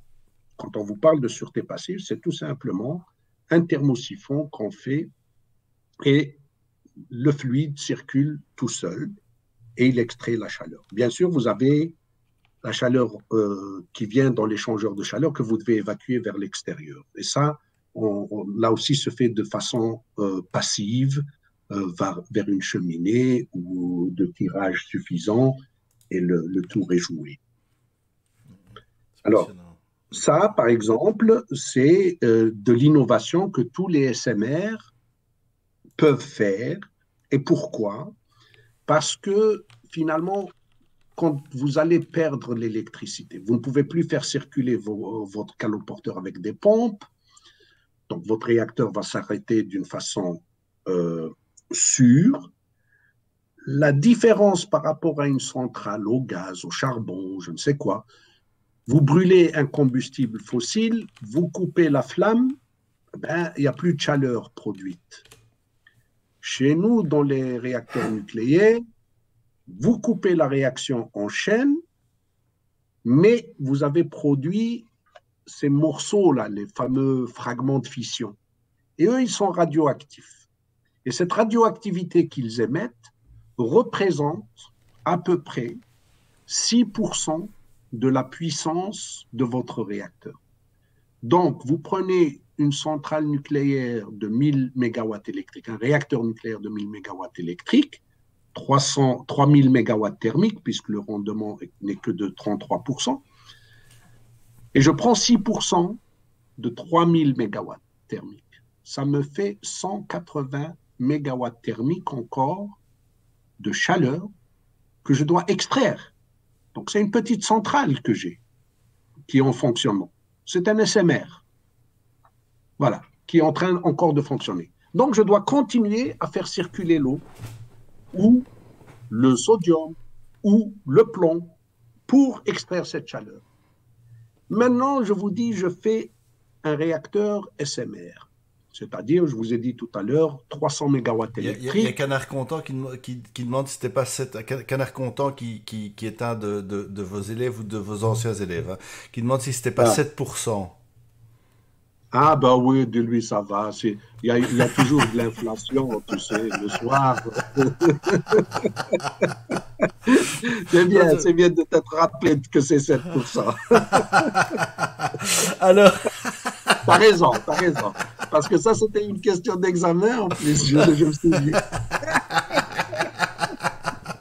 Ah, c'est bien, c'est bien, et, et, c'est la preuve que, ça, veut dire que non seulement, et c'est un beau, c'est un beau compliment, Amit, parce que ça veut dire que non seulement il, il écoute ici, et qu'il écoutait en classe et qu'il se rappelle de la question. Donc, moi, ben je, je, je, je, le prendrais comme, euh, comme un, chouette compliment. Ça veut dire que le cours était intéressant. Il l'a d'ailleurs confirmé, euh, dans, dans, le chat, comme quoi c'était vraiment très agréable de, de, de t'avoir comme professeur.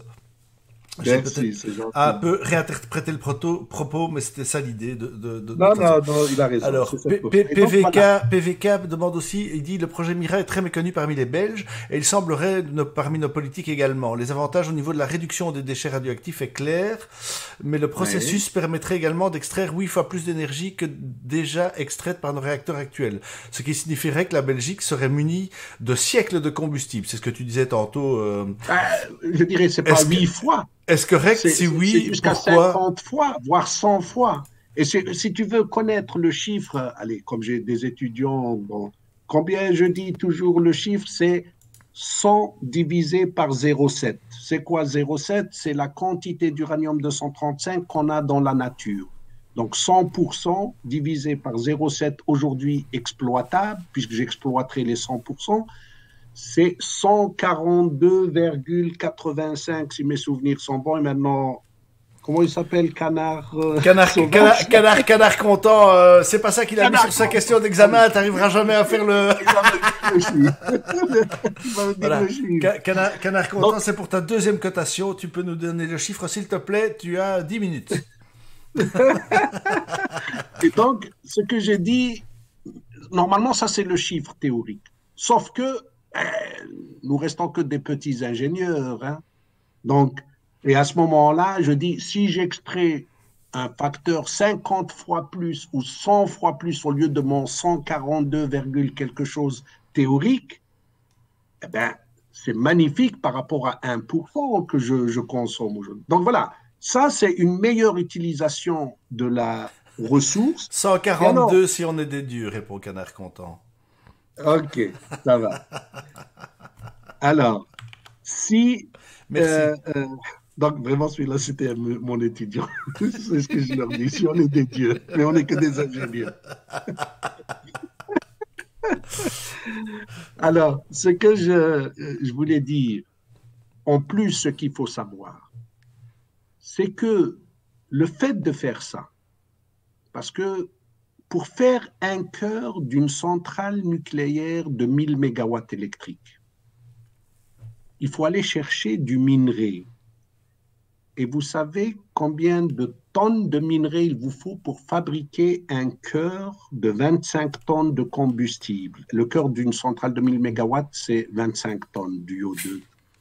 Eh bien, il nous faut aller chercher 45 000 à 50 000 tonnes d'uranium pour faire ce cœur. Et vous vous imaginez, si maintenant je recycle et je vous ai dit que finalement, de une tonne, je récupère 935 kilos ou 950 kilos. Mais ça veut dire que j'irai pas si souvent à la mine. Et quelle est la, quand on dit que le, le, le nucléaire, il émet euh, combien 12 grammes de CO2 par euh, kilowattheure, euh, si mes souvenirs sont bons. D'où vient ce 12 grammes par kilowattheure? Essentiellement de la mine. Donc non seulement on va utiliser mieux la ressource, mais on décarbone le nucléaire encore plus que ce qu'il est déjà Ça, c'est, ça, c'est les, deux, les, deux gains. Et alors, en plus de ça, si vous regardez la partie où on si vous prenez tous les critères, je dirais, euh, qui affectent l'environnement, comment vous affectez l'environnement, c'est pas seulement le CO2, mais l'eau que vous utilisez, etc. Eh bien, dans la mine, le travail de mine, il y a beaucoup aussi de déperdition d'eau et d'utilisation de l'eau et de contamination de l'eau. vous voyez tous les effets sur lesquels on peut gagner si on faisait le cycle fermé.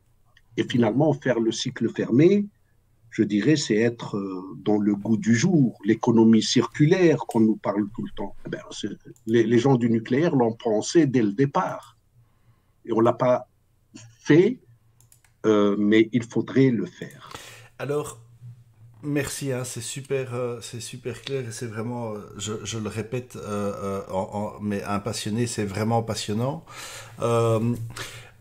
il y a quand même un truc qui est étonnant, c'est l'Europe qui a une souveraineté énergétique euh, relativement moyenne quand on regarde par exemple des pays comme la Chine, comme les États-Unis, comme la Russie, qui eux sont en train visiblement de pousser l'accélérateur à fond la caisse, bah, sur à peu près tout, hein, puisque clairement, euh, je veux dire, pour pour sortir du fossile sans se prendre un, un allez, une chute de niveau euh, et, et, retourner dans un dans un style de vie euh, euh agressivement sobre. Euh, il va falloir aller chercher la moindre petite bulle à gauche à droite. Et en Europe, alors qu'on a de souveraineté de rien, euh, on a l'air d'avoir, alors ça change un peu à gauche, à droite. La France vient d'annoncer qu'ils allaient remettre des réacteurs. On est en train de requalifier le nucléaire. Ah, mais quand même, regardez les Scandinaves, ils disent que c'est vert et compagnie. Donc, euh, comment s'explique euh, ce, ce, cette tendance politique à, à, à, à, ne plus vouloir de nucléaire, à s'entêter là-dedans Et est-ce que c'est en train de changer? Et c'est peut-être hors sujet. Peut-être que toi, au final, tu es un ingénieur et que tu t'en fous de la politique. Hein, mais voilà. C'est quand même non, important. Non, non, on ne peut pas s'en foutre de la politique ou des, des, choses qui engagent toute notre société.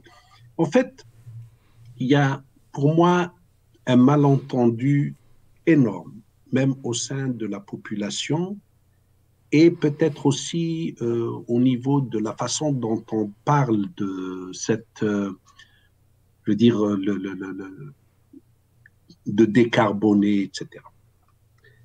Alors, il y a des gens, quand ils vous disent on doit arriver à une société euh, décarbonée, ils mettent égal 100% de renouvelables. C'est pas 100% de renouvelables qu'on cherche à atteindre. c'est une neutralité carbone.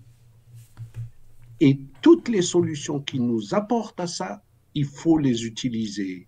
Et c'est là où le, je trouve que le discours politique, notamment au sein de la, des institutions européennes, il y a des gens ah ben... qui aujourd'hui euh, ne font pas la part des choses. Vouloir, vouloir la sortie du nucléaire avant la transition énergétique, c'est une, euh, enfin, c'est la preuve pour moi d'une d'une one, two, three, d'une mécompréhension alarmante de, de nos politiques. Euh, ça, ça fait peur, moi, je trouve. Oui, mais peut-être qu'il faut expliquer plus, c'est toujours plus simple, parce que moi je dis euh, ce qu'on a besoin pour lutter, pour tenir le 1,5 degré, là, qu'on ne tiendra pas, on le sait après la COP26, il a été dit. Mais bon, euh, allez, euh, jouons quand même le jeu, ça vaut la peine de jouer le jeu, même si on l'atteint pas, si on atteint 2, c'est mieux que 2,5 ou que 3. Ça va piquer quand même, hein, oui. Non, mais je trouve que ce qu'il faut que les gens comprennent, ce qu'on doit faire, c'est la neutralité carbone pour 2050. Et là, à ce moment-là, il ne faut pas venir me dire que le meilleur allié du renouvelable, c'est le gaz. C'est le gaz, comme ça, le prix de finalement du kilowattheure qu'on produit va monter et rendra le, le kilowattheure euh, renouvelable plus proche de, son, de sa fourniture de base. Est-ce que c'est ça le jeu qu'on doit faire? Non, je pense que ce qu'il faut faire, c'est euh, effectivement prendre toutes les sources à bas carbone et bas euh, tout autre contaminant, les NOx, etc., les SOX.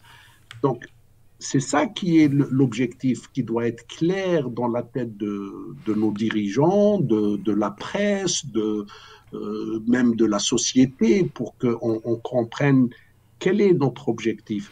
Tout à fait. ceci dit, euh, j'ai ouï dire, mais voilà, c'est vraiment juste quelque chose que j'ai entendu de quelqu'un qui travaille dans le secteur de l'énergie, qui disait que dans la catégorie des, méconnaissances aussi, il semblerait que les nouvelles générations de centrales au gaz soient très faibles en carbone et compagnie. Je comprends pas très bien comment, parce que je veux dire, on brûle quand même du gaz et donc ah oui. il y a quand même un truc physique euh, qui, qui m'échappe dans le dans le dans le brol, mais euh, voilà, je sais pas.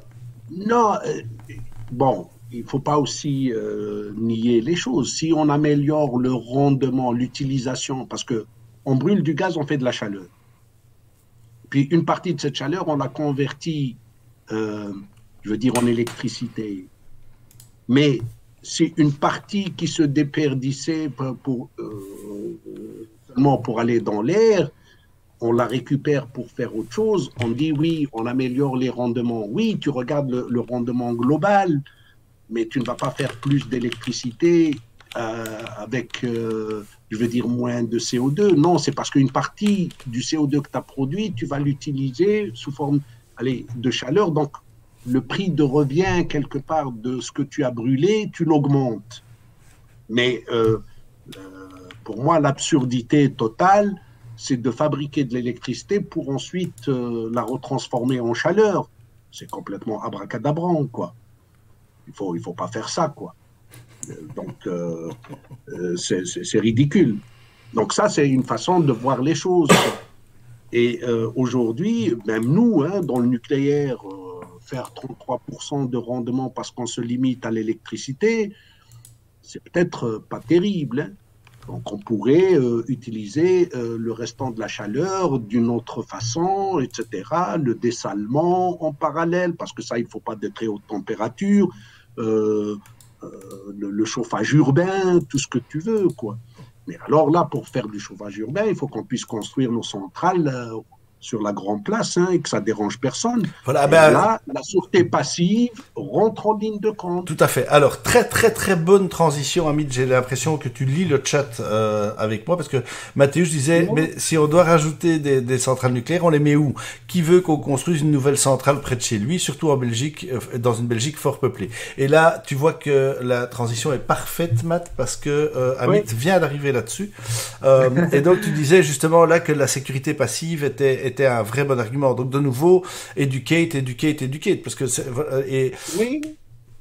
Bon, d'abord. Et, et, comment on fait? Enfin, on peut éventuellement. Euh, mais mais je, moi, enfin, moi, je suis alarmé euh, dans les entreprises, chez les citoyens ou même dans les politiques, y compris dans les politiques euh, locales, hein, de voir que les, les, gens qui prennent des décisions, euh, en fait, ont une méconnaissance et une mécompréhension de la problématique énergétique, oui, écologique et technologique, qui sont quand même. Je vois pas beaucoup d'autres piliers qui sont les endroits où on doit prendre des décisions.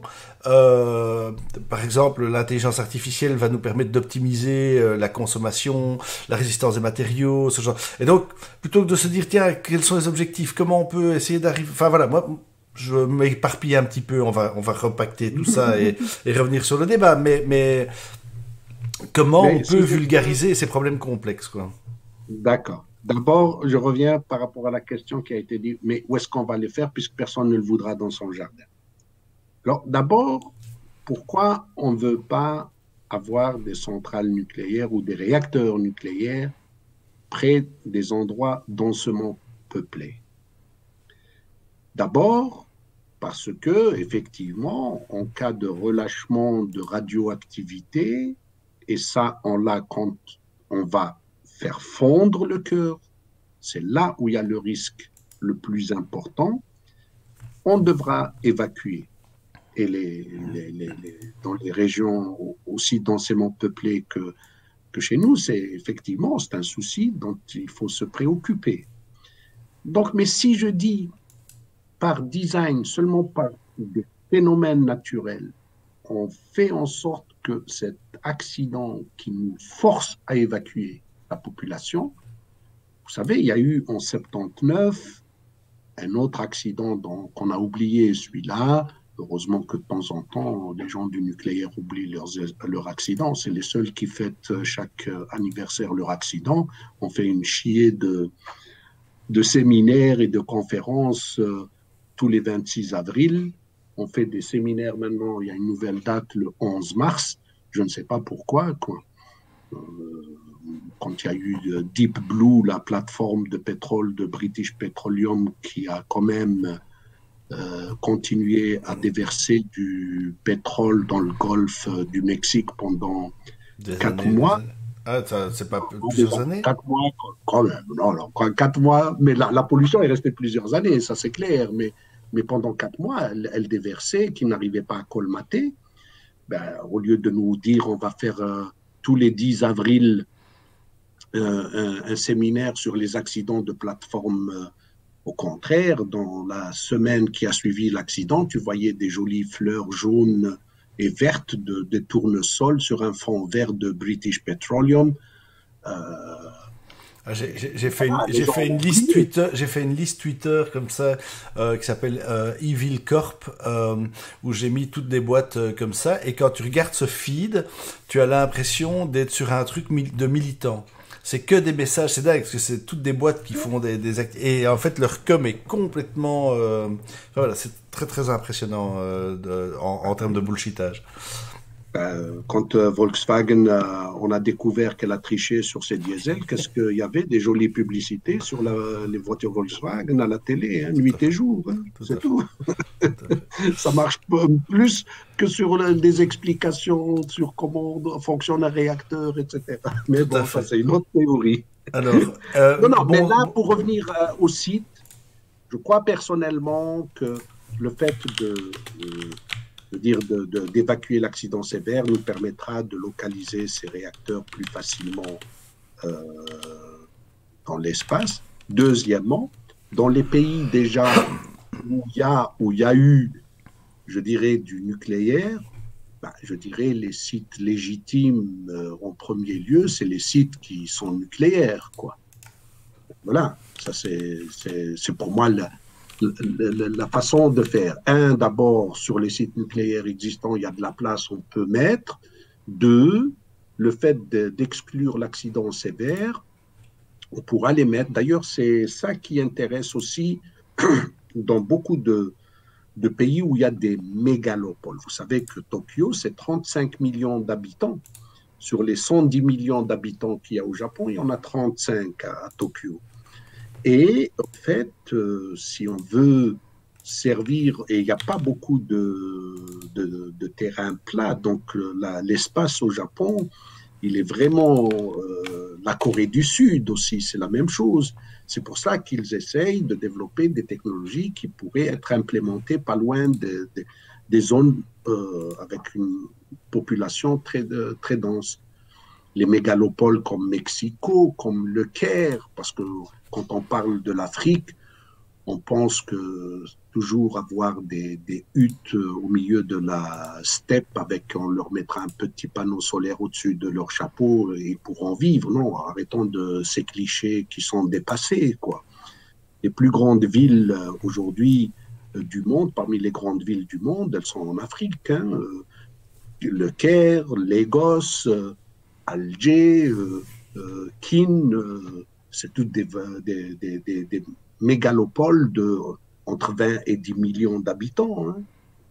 Oui, clairement, Ils ont besoin d'électricité ou des sources d'énergie denses. Même, il faut se poser la question pour eux, si ce n'est pas des gros réacteurs qu'il ferait mieux de choisir. Mais quand même, là aussi, le problème de la densité de population à évacuer ou pas. Donc, les SMR, ça peut être un aspect intéressant. Alors, euh, désolé le chat, j'essaie vraiment de catcher toutes les questions et de les, de, les mettre, mais c'est compliqué et ça défile pas mal ce soir. Donc, désolé si jamais j'ai des questions qui n'ont pas encore été posées, n'hésitez pas à, les remettre dessus. J'ai bien vu tes, les, les, les, questions que tu as mis de côté, hein, Matt, donc merci pour ça. Euh, alors justement, euh, je voulais un avis euh, qui est, euh, que, tu es une personne euh, un peu plus informée et probablement atypique en termes de, vue. justement, on parle beaucoup de d'effondrement, de disponibilité énergétique, de pics pétroliers et, autres. Toi, quel est ton... alors, personne n'est Madame Irma euh, ni Madame Mira d'ailleurs. Euh, tu es peut-être Monsieur Mira, mais il, ne connaît pas le futur avec, avec précision. Toi, tu penses qu'on va euh, qu'on va quoi vers quelque chose il y a, Non, il y a zéro souci, on va bien le gérer. Il va y avoir un palier un peu un peu sévère. Enfin voilà, c'est quoi ton, ton ton ton estimation sur ce sur ces prédictions alarmistes du du, du, du pic pétrolier et du manquement énergétique? Moi, ce qui m'inquiète, c'est plus euh, les tensions géopolitiques. C'est celles-là qui m'inquiètent, qui peuvent euh, en fait euh, créer ce qu'on vit actuellement pour le gaz. en toute sincérité, c'est, je veux dire, le prix du pétrole qui est en train aussi d'exploser c'est seulement, le, je veux dire, euh, de la de l'orchestration. Hein. Oui, bien sûr, bien sûr. Euh, euh, mais les tensions, elles sont réelles. Hein. Aujourd'hui, le fait que le, le Moyen-Orient, je dirais, n'est plus quelque part aussi important pour les États-Unis, c'est pour ça que les États-Unis se désengagent, parce qu'ils ont le, le, pétrole et le gaz de schiste qui étaient euh, tellement produits en grande quantité qu'ils deviennent un concurrent du Moyen-Orient. Donc si le Moyen-Orient ne produit pas, il affecte dans l'esprit, euh, je dirais, de, la géopolitique, plus la Chine qui a besoin de beaucoup d'importations de là, voilà, euh, mais il se trouve que nous, ce que tu as dit tout à l'heure, euh, que l'Europe, malheureusement, nous n'avons euh, pas des grandes ressources sur nos terres et c'est absolument, à part le, charbon, il y a encore beaucoup, il y a certains grands pays dans le charbon, mais cette, je veux dire, aversion pour une sources euh, comme le nucléaire, c'est inquiétant, ça nous rend tellement dépendants de, l'extérieur et des sources finalement fossiles. En plus, ça va à l'encontre même de nos ah premières valeurs pour l'environnement. C'est complètement abracadabra. Euh, tout à l'heure, tu disais euh, comment il faut faire. Il faut savoir, il y a j'ai un ami qui est, qui est dans la géopolitique énergétique et qui travaille à la commission, Samuel Fourfari. Il faut lui parler, de, de, vous parler de quelle était la stratégie de l'Europe euh, dans les années 70, justement après la, la crise pour pétrolière. C'est Coconuc. C'est quoi? C'est coal, le charbon, puisqu'on a commencé la, euh, la CECA, charbon, la communauté européenne du charbon euh, et de l'acier. Tout à fait. Donc, le charbon était central pour euh, la création même de l'Europe. C'était coconut, co coal, le deuxième co conservation, c'est pour en fait l'utilisation plus rationnelle de l'énergie, et nuc, nucléaire. C'était les trois piliers et aujourd'hui, euh, c'est quoi nos trois piliers? C'est de dire réduction de la consommation, renouvelable, et le troisième euh, chose, c'est euh, utiliser le renouvelable pour faire de la molécule. Mais finalement, on n'a qu'un seul pilier qui est le renouvelable. et, on a enlevé deux deux piliers pilotables. Quoi. Et le renouvelable, même si c'est super, il y a quand même, il, nécessite une stratégie de compensation si tout d'un coup euh, il n'y a pas de soleil ou il n'y a pas de vent ou. Euh, et là, de, toute façon, le renouvelable pour le renouvelable, à moins d'aller souffler sur les éoliennes, euh, ça va être compliqué, quoi. Non, ça c'est clair. Et, donc là, le, je dis tout simplement, c'est pour moi la confusion entre le, ce qui va nous sauver, c'est le 100% renouvelable, ou bien une économie et une société, euh, je dirais, euh, zéro carbone, mais plutôt la neutralité carbone. Et ça, cette confusion-là, il faut l'expliquer, l'expliquer, l'expliquer pour que les gens arrivent à faire la différence. Tout à fait, absolument. Alors, je récupère les questions du chat encore ici, il y en a quelques-unes. Euh, donc, euh, comment se fait-il qu'on soit passé de 39% en, en, 2019 à 52% en, euh, en aujourd'hui en Belgique? Alors ça, je pense que ça a été répondu. Il y a des réacteurs qui ont été fermés et réouverts. C'est la disponibilité des deux réacteurs alors, euh, très très bonne question que j'ai failli euh, rater. Euh, donc, il y a pas mal d'investissements privés euh, dans le nucléaire. Est-ce qu'aujourd'hui, euh, justement, la façon dont le marché et l'innovation nucléaire est, est, gérée, est-ce que c'est un accélérateur ou un frein à l'innovation? Alors, je dirais qu'aujourd'hui, ce qu'on voit, c'est il y a beaucoup plus, je dirais, de euh, de mouvements dans l'innovation nucléaire et des fonds privés qui viennent vers l'innovation nucléaire aux États-Unis, au Canada, en Chine, en Russie même, dans le Moyen-Orient, mais en Europe, beaucoup moins. Euh, je crois qu'on a toujours euh, cette euh, idée que le nucléaire, c'est une affaire du, des gouvernements et des États et on s'interdit d'investir dans le marché de l'innovation nucléaire avec des fonds privés. Moi, je pense que ce qui serait vraiment gagnant, c'est de stimuler et là, du côté du gouvernement, que ce soit le nôtre ou les autres gouvernements, le partenariat public-privé. Nous pouvons faire des choses jusqu'à un certain niveau avec du TRL, le Technical Readiness Level 3, 4, seulement avec des moyens de recherche euh, publique. À un moment donné, on doit passer à la démonstration d'un proto, etc. Là, ça commence à devenir euh, des choses euh, assez importantes. Et c'est à ce moment-là qu'un partenariat public-privé peut jouer son jeu. À partir, je dirais, de 7, TRL 7, 8, là, le privé je veux dire, va reprendre le flambeau pour industrialiser. Donc il y a un début qui doit être fait avec de l'argent public. Il y a la fameuse vallée de la mort de, toutes les technologies et de l'innovation.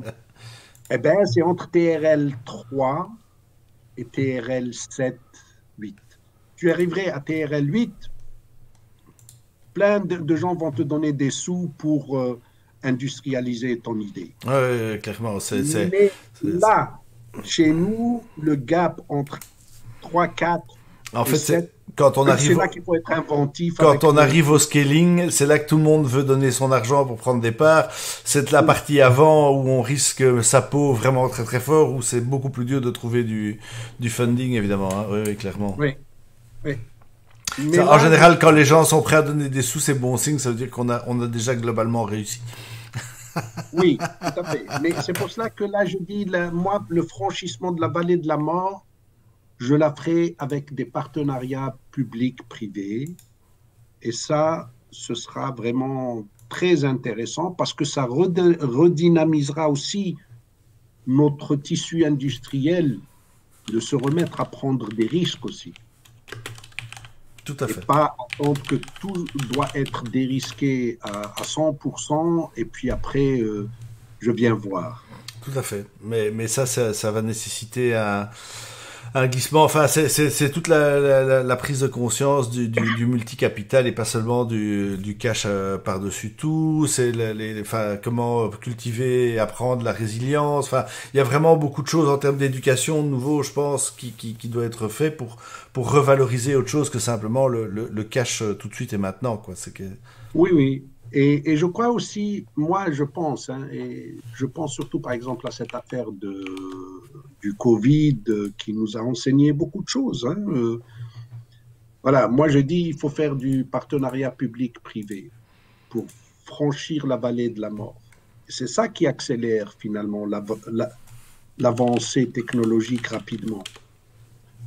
Et euh, il y a des gens qui aujourd'hui, ben, dans les le commun des mortels qui dit mais allez tout ça est manigancé etc parce que finalement on donne des milliards publics pour euh, développer euh, le vaccin et, ben oui, ben mais pourquoi les Français n'ont pas développé un vaccin? C'est parce qu'il n'y avait que l'argent public. Hein tout à fait. Non, c'est clairement pas manigancé. Par contre, il y a un design, un design qui est qui est faussé, qui fait que aujourd'hui on, on a vu, hein, c'est le, le c'est Oxfam qui a publié cette étude euh, il y a pas longtemps, comme quoi la grande majorité de l'argent imprimé pendant la crise était était quand même remonté, c'est le ruissellement vers le haut quoi.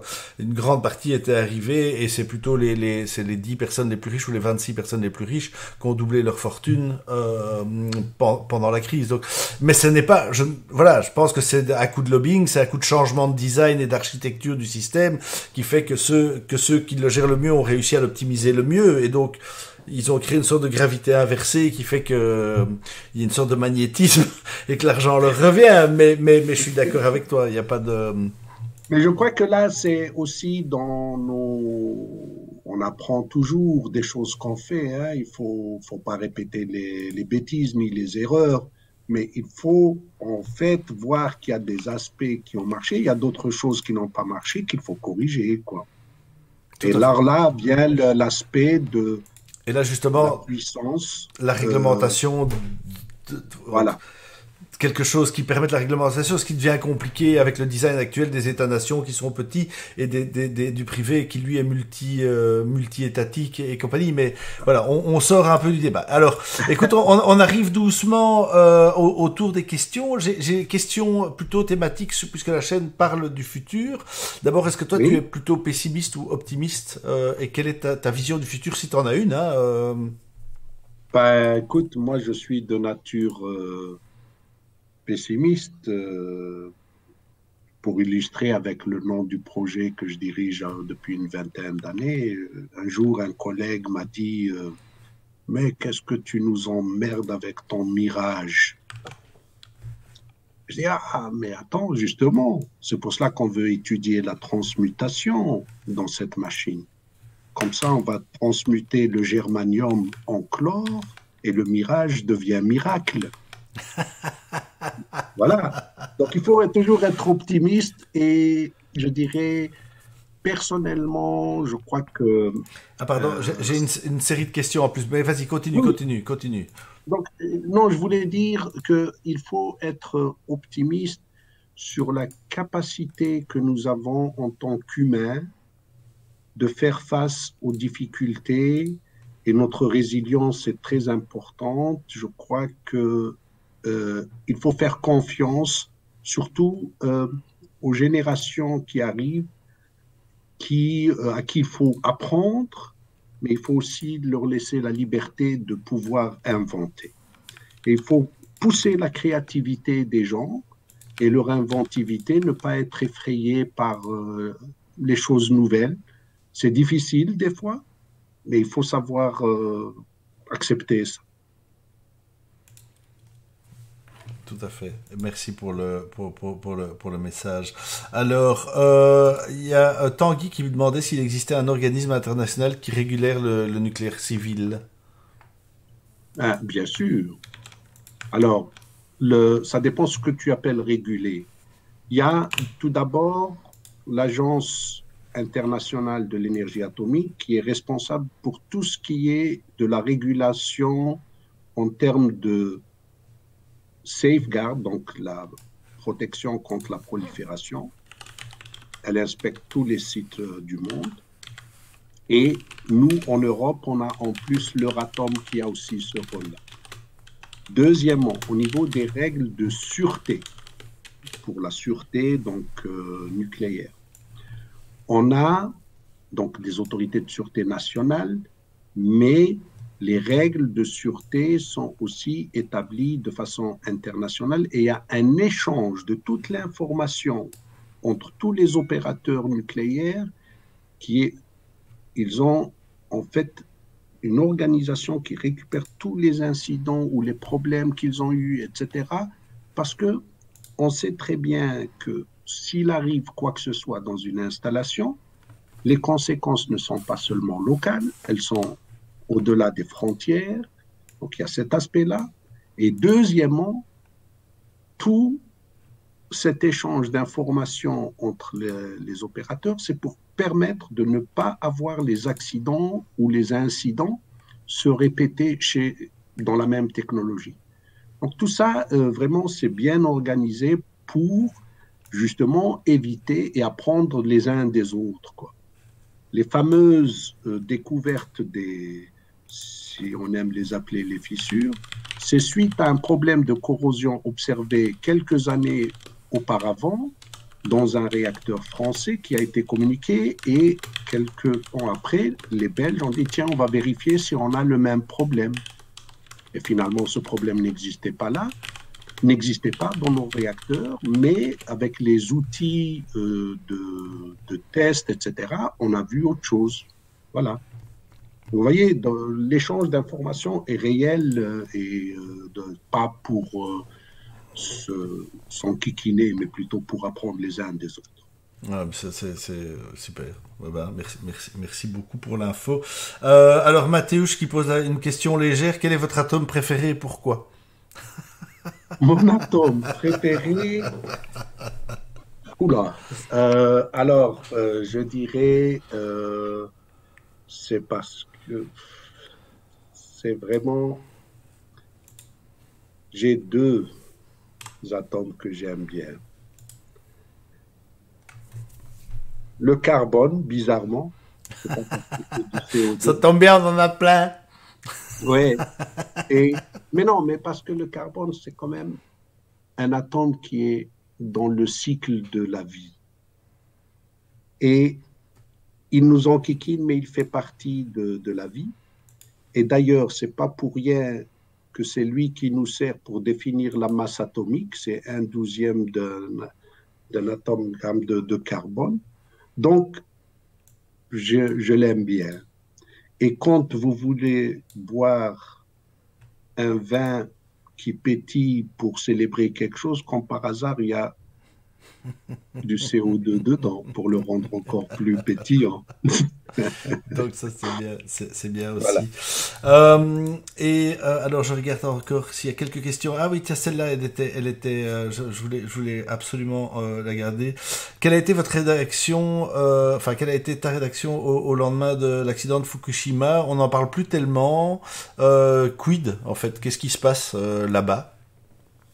Alors ma réaction, vraiment, c'était la surprise et surtout euh, de, voir euh, l'explosion du deuxième bâtiment, parce que ce n'est pas une explosion nucléaire, c'est une explosion hydrogène, il faut savoir ça, pour les gens qui veulent qu'on fonctionne à l'hydrogène. Donc c'est une explosion hydrogène qui a eu dans ce bâtiment.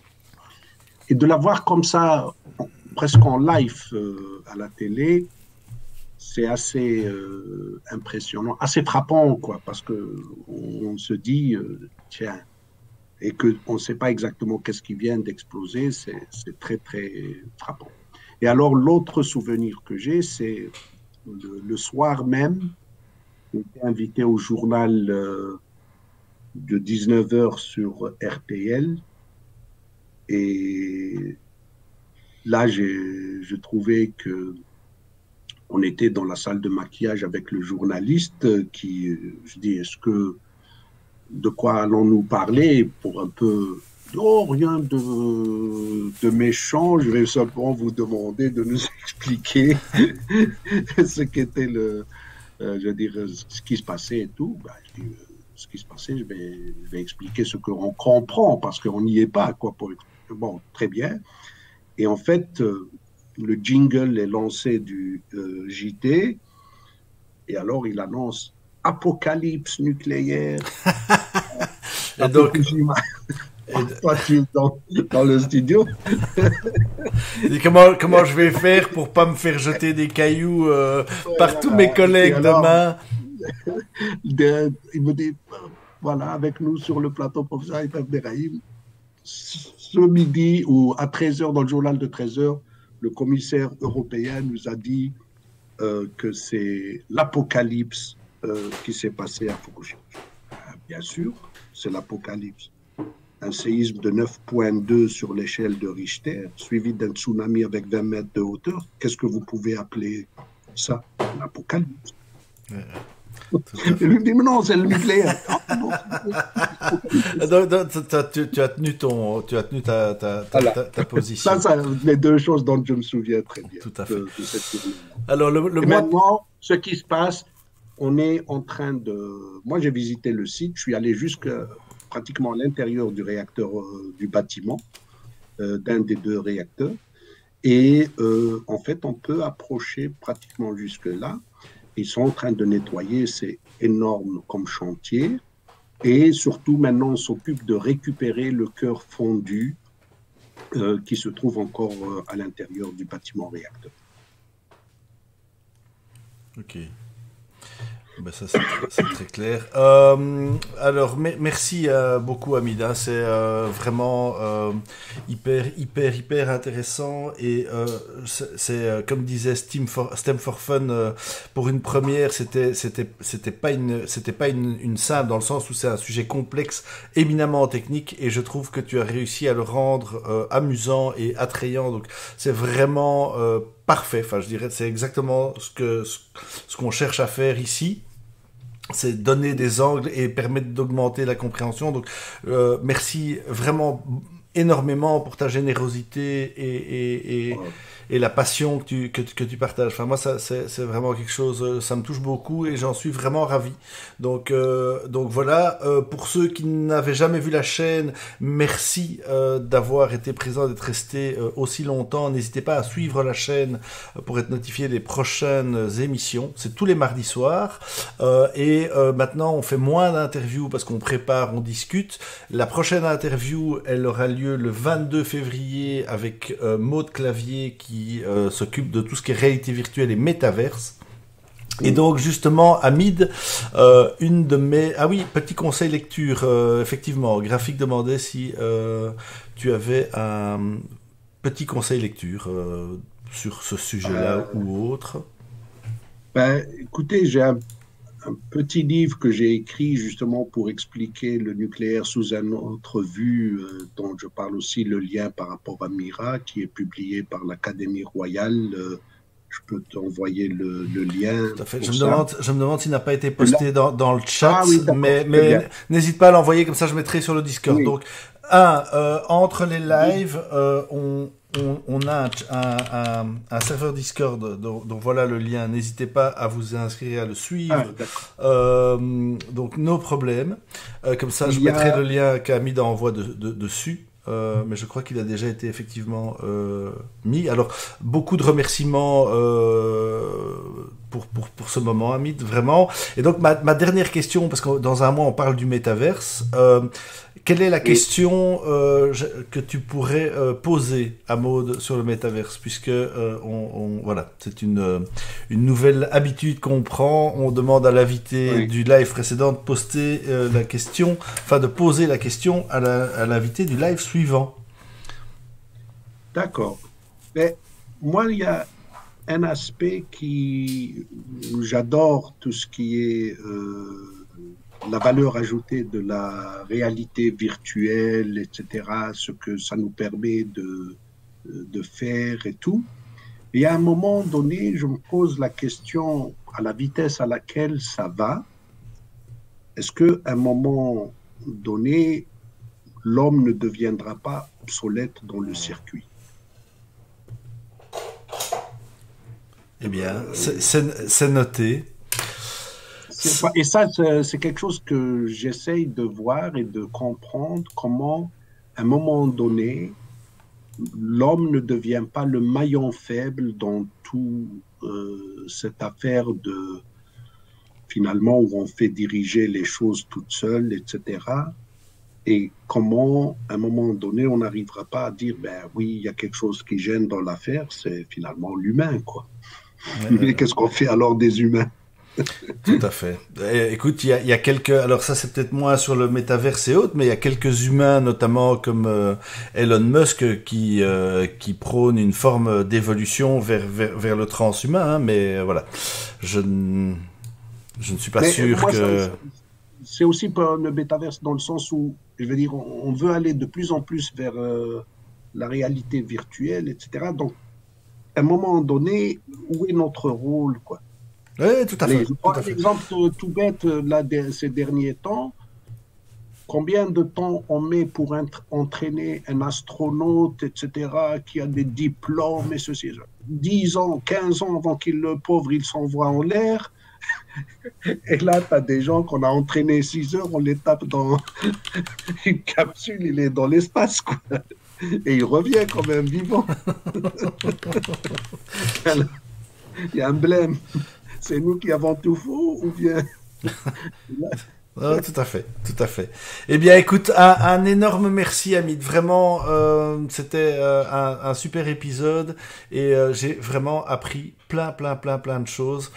il a réussi à parler d'Elon Musk, le point Musk. Tout à fait, j'ai atteint le point Musk. Vous remarquerez que j'ai passé quand même presque trois heures, non, deux heures et demie, sans parler de Matrix. Hein, donc euh, voilà, je le place aussi du coup, et du coup c'est fait. Mais euh, mais voilà, Hamid, je te souhaite une excellente soirée.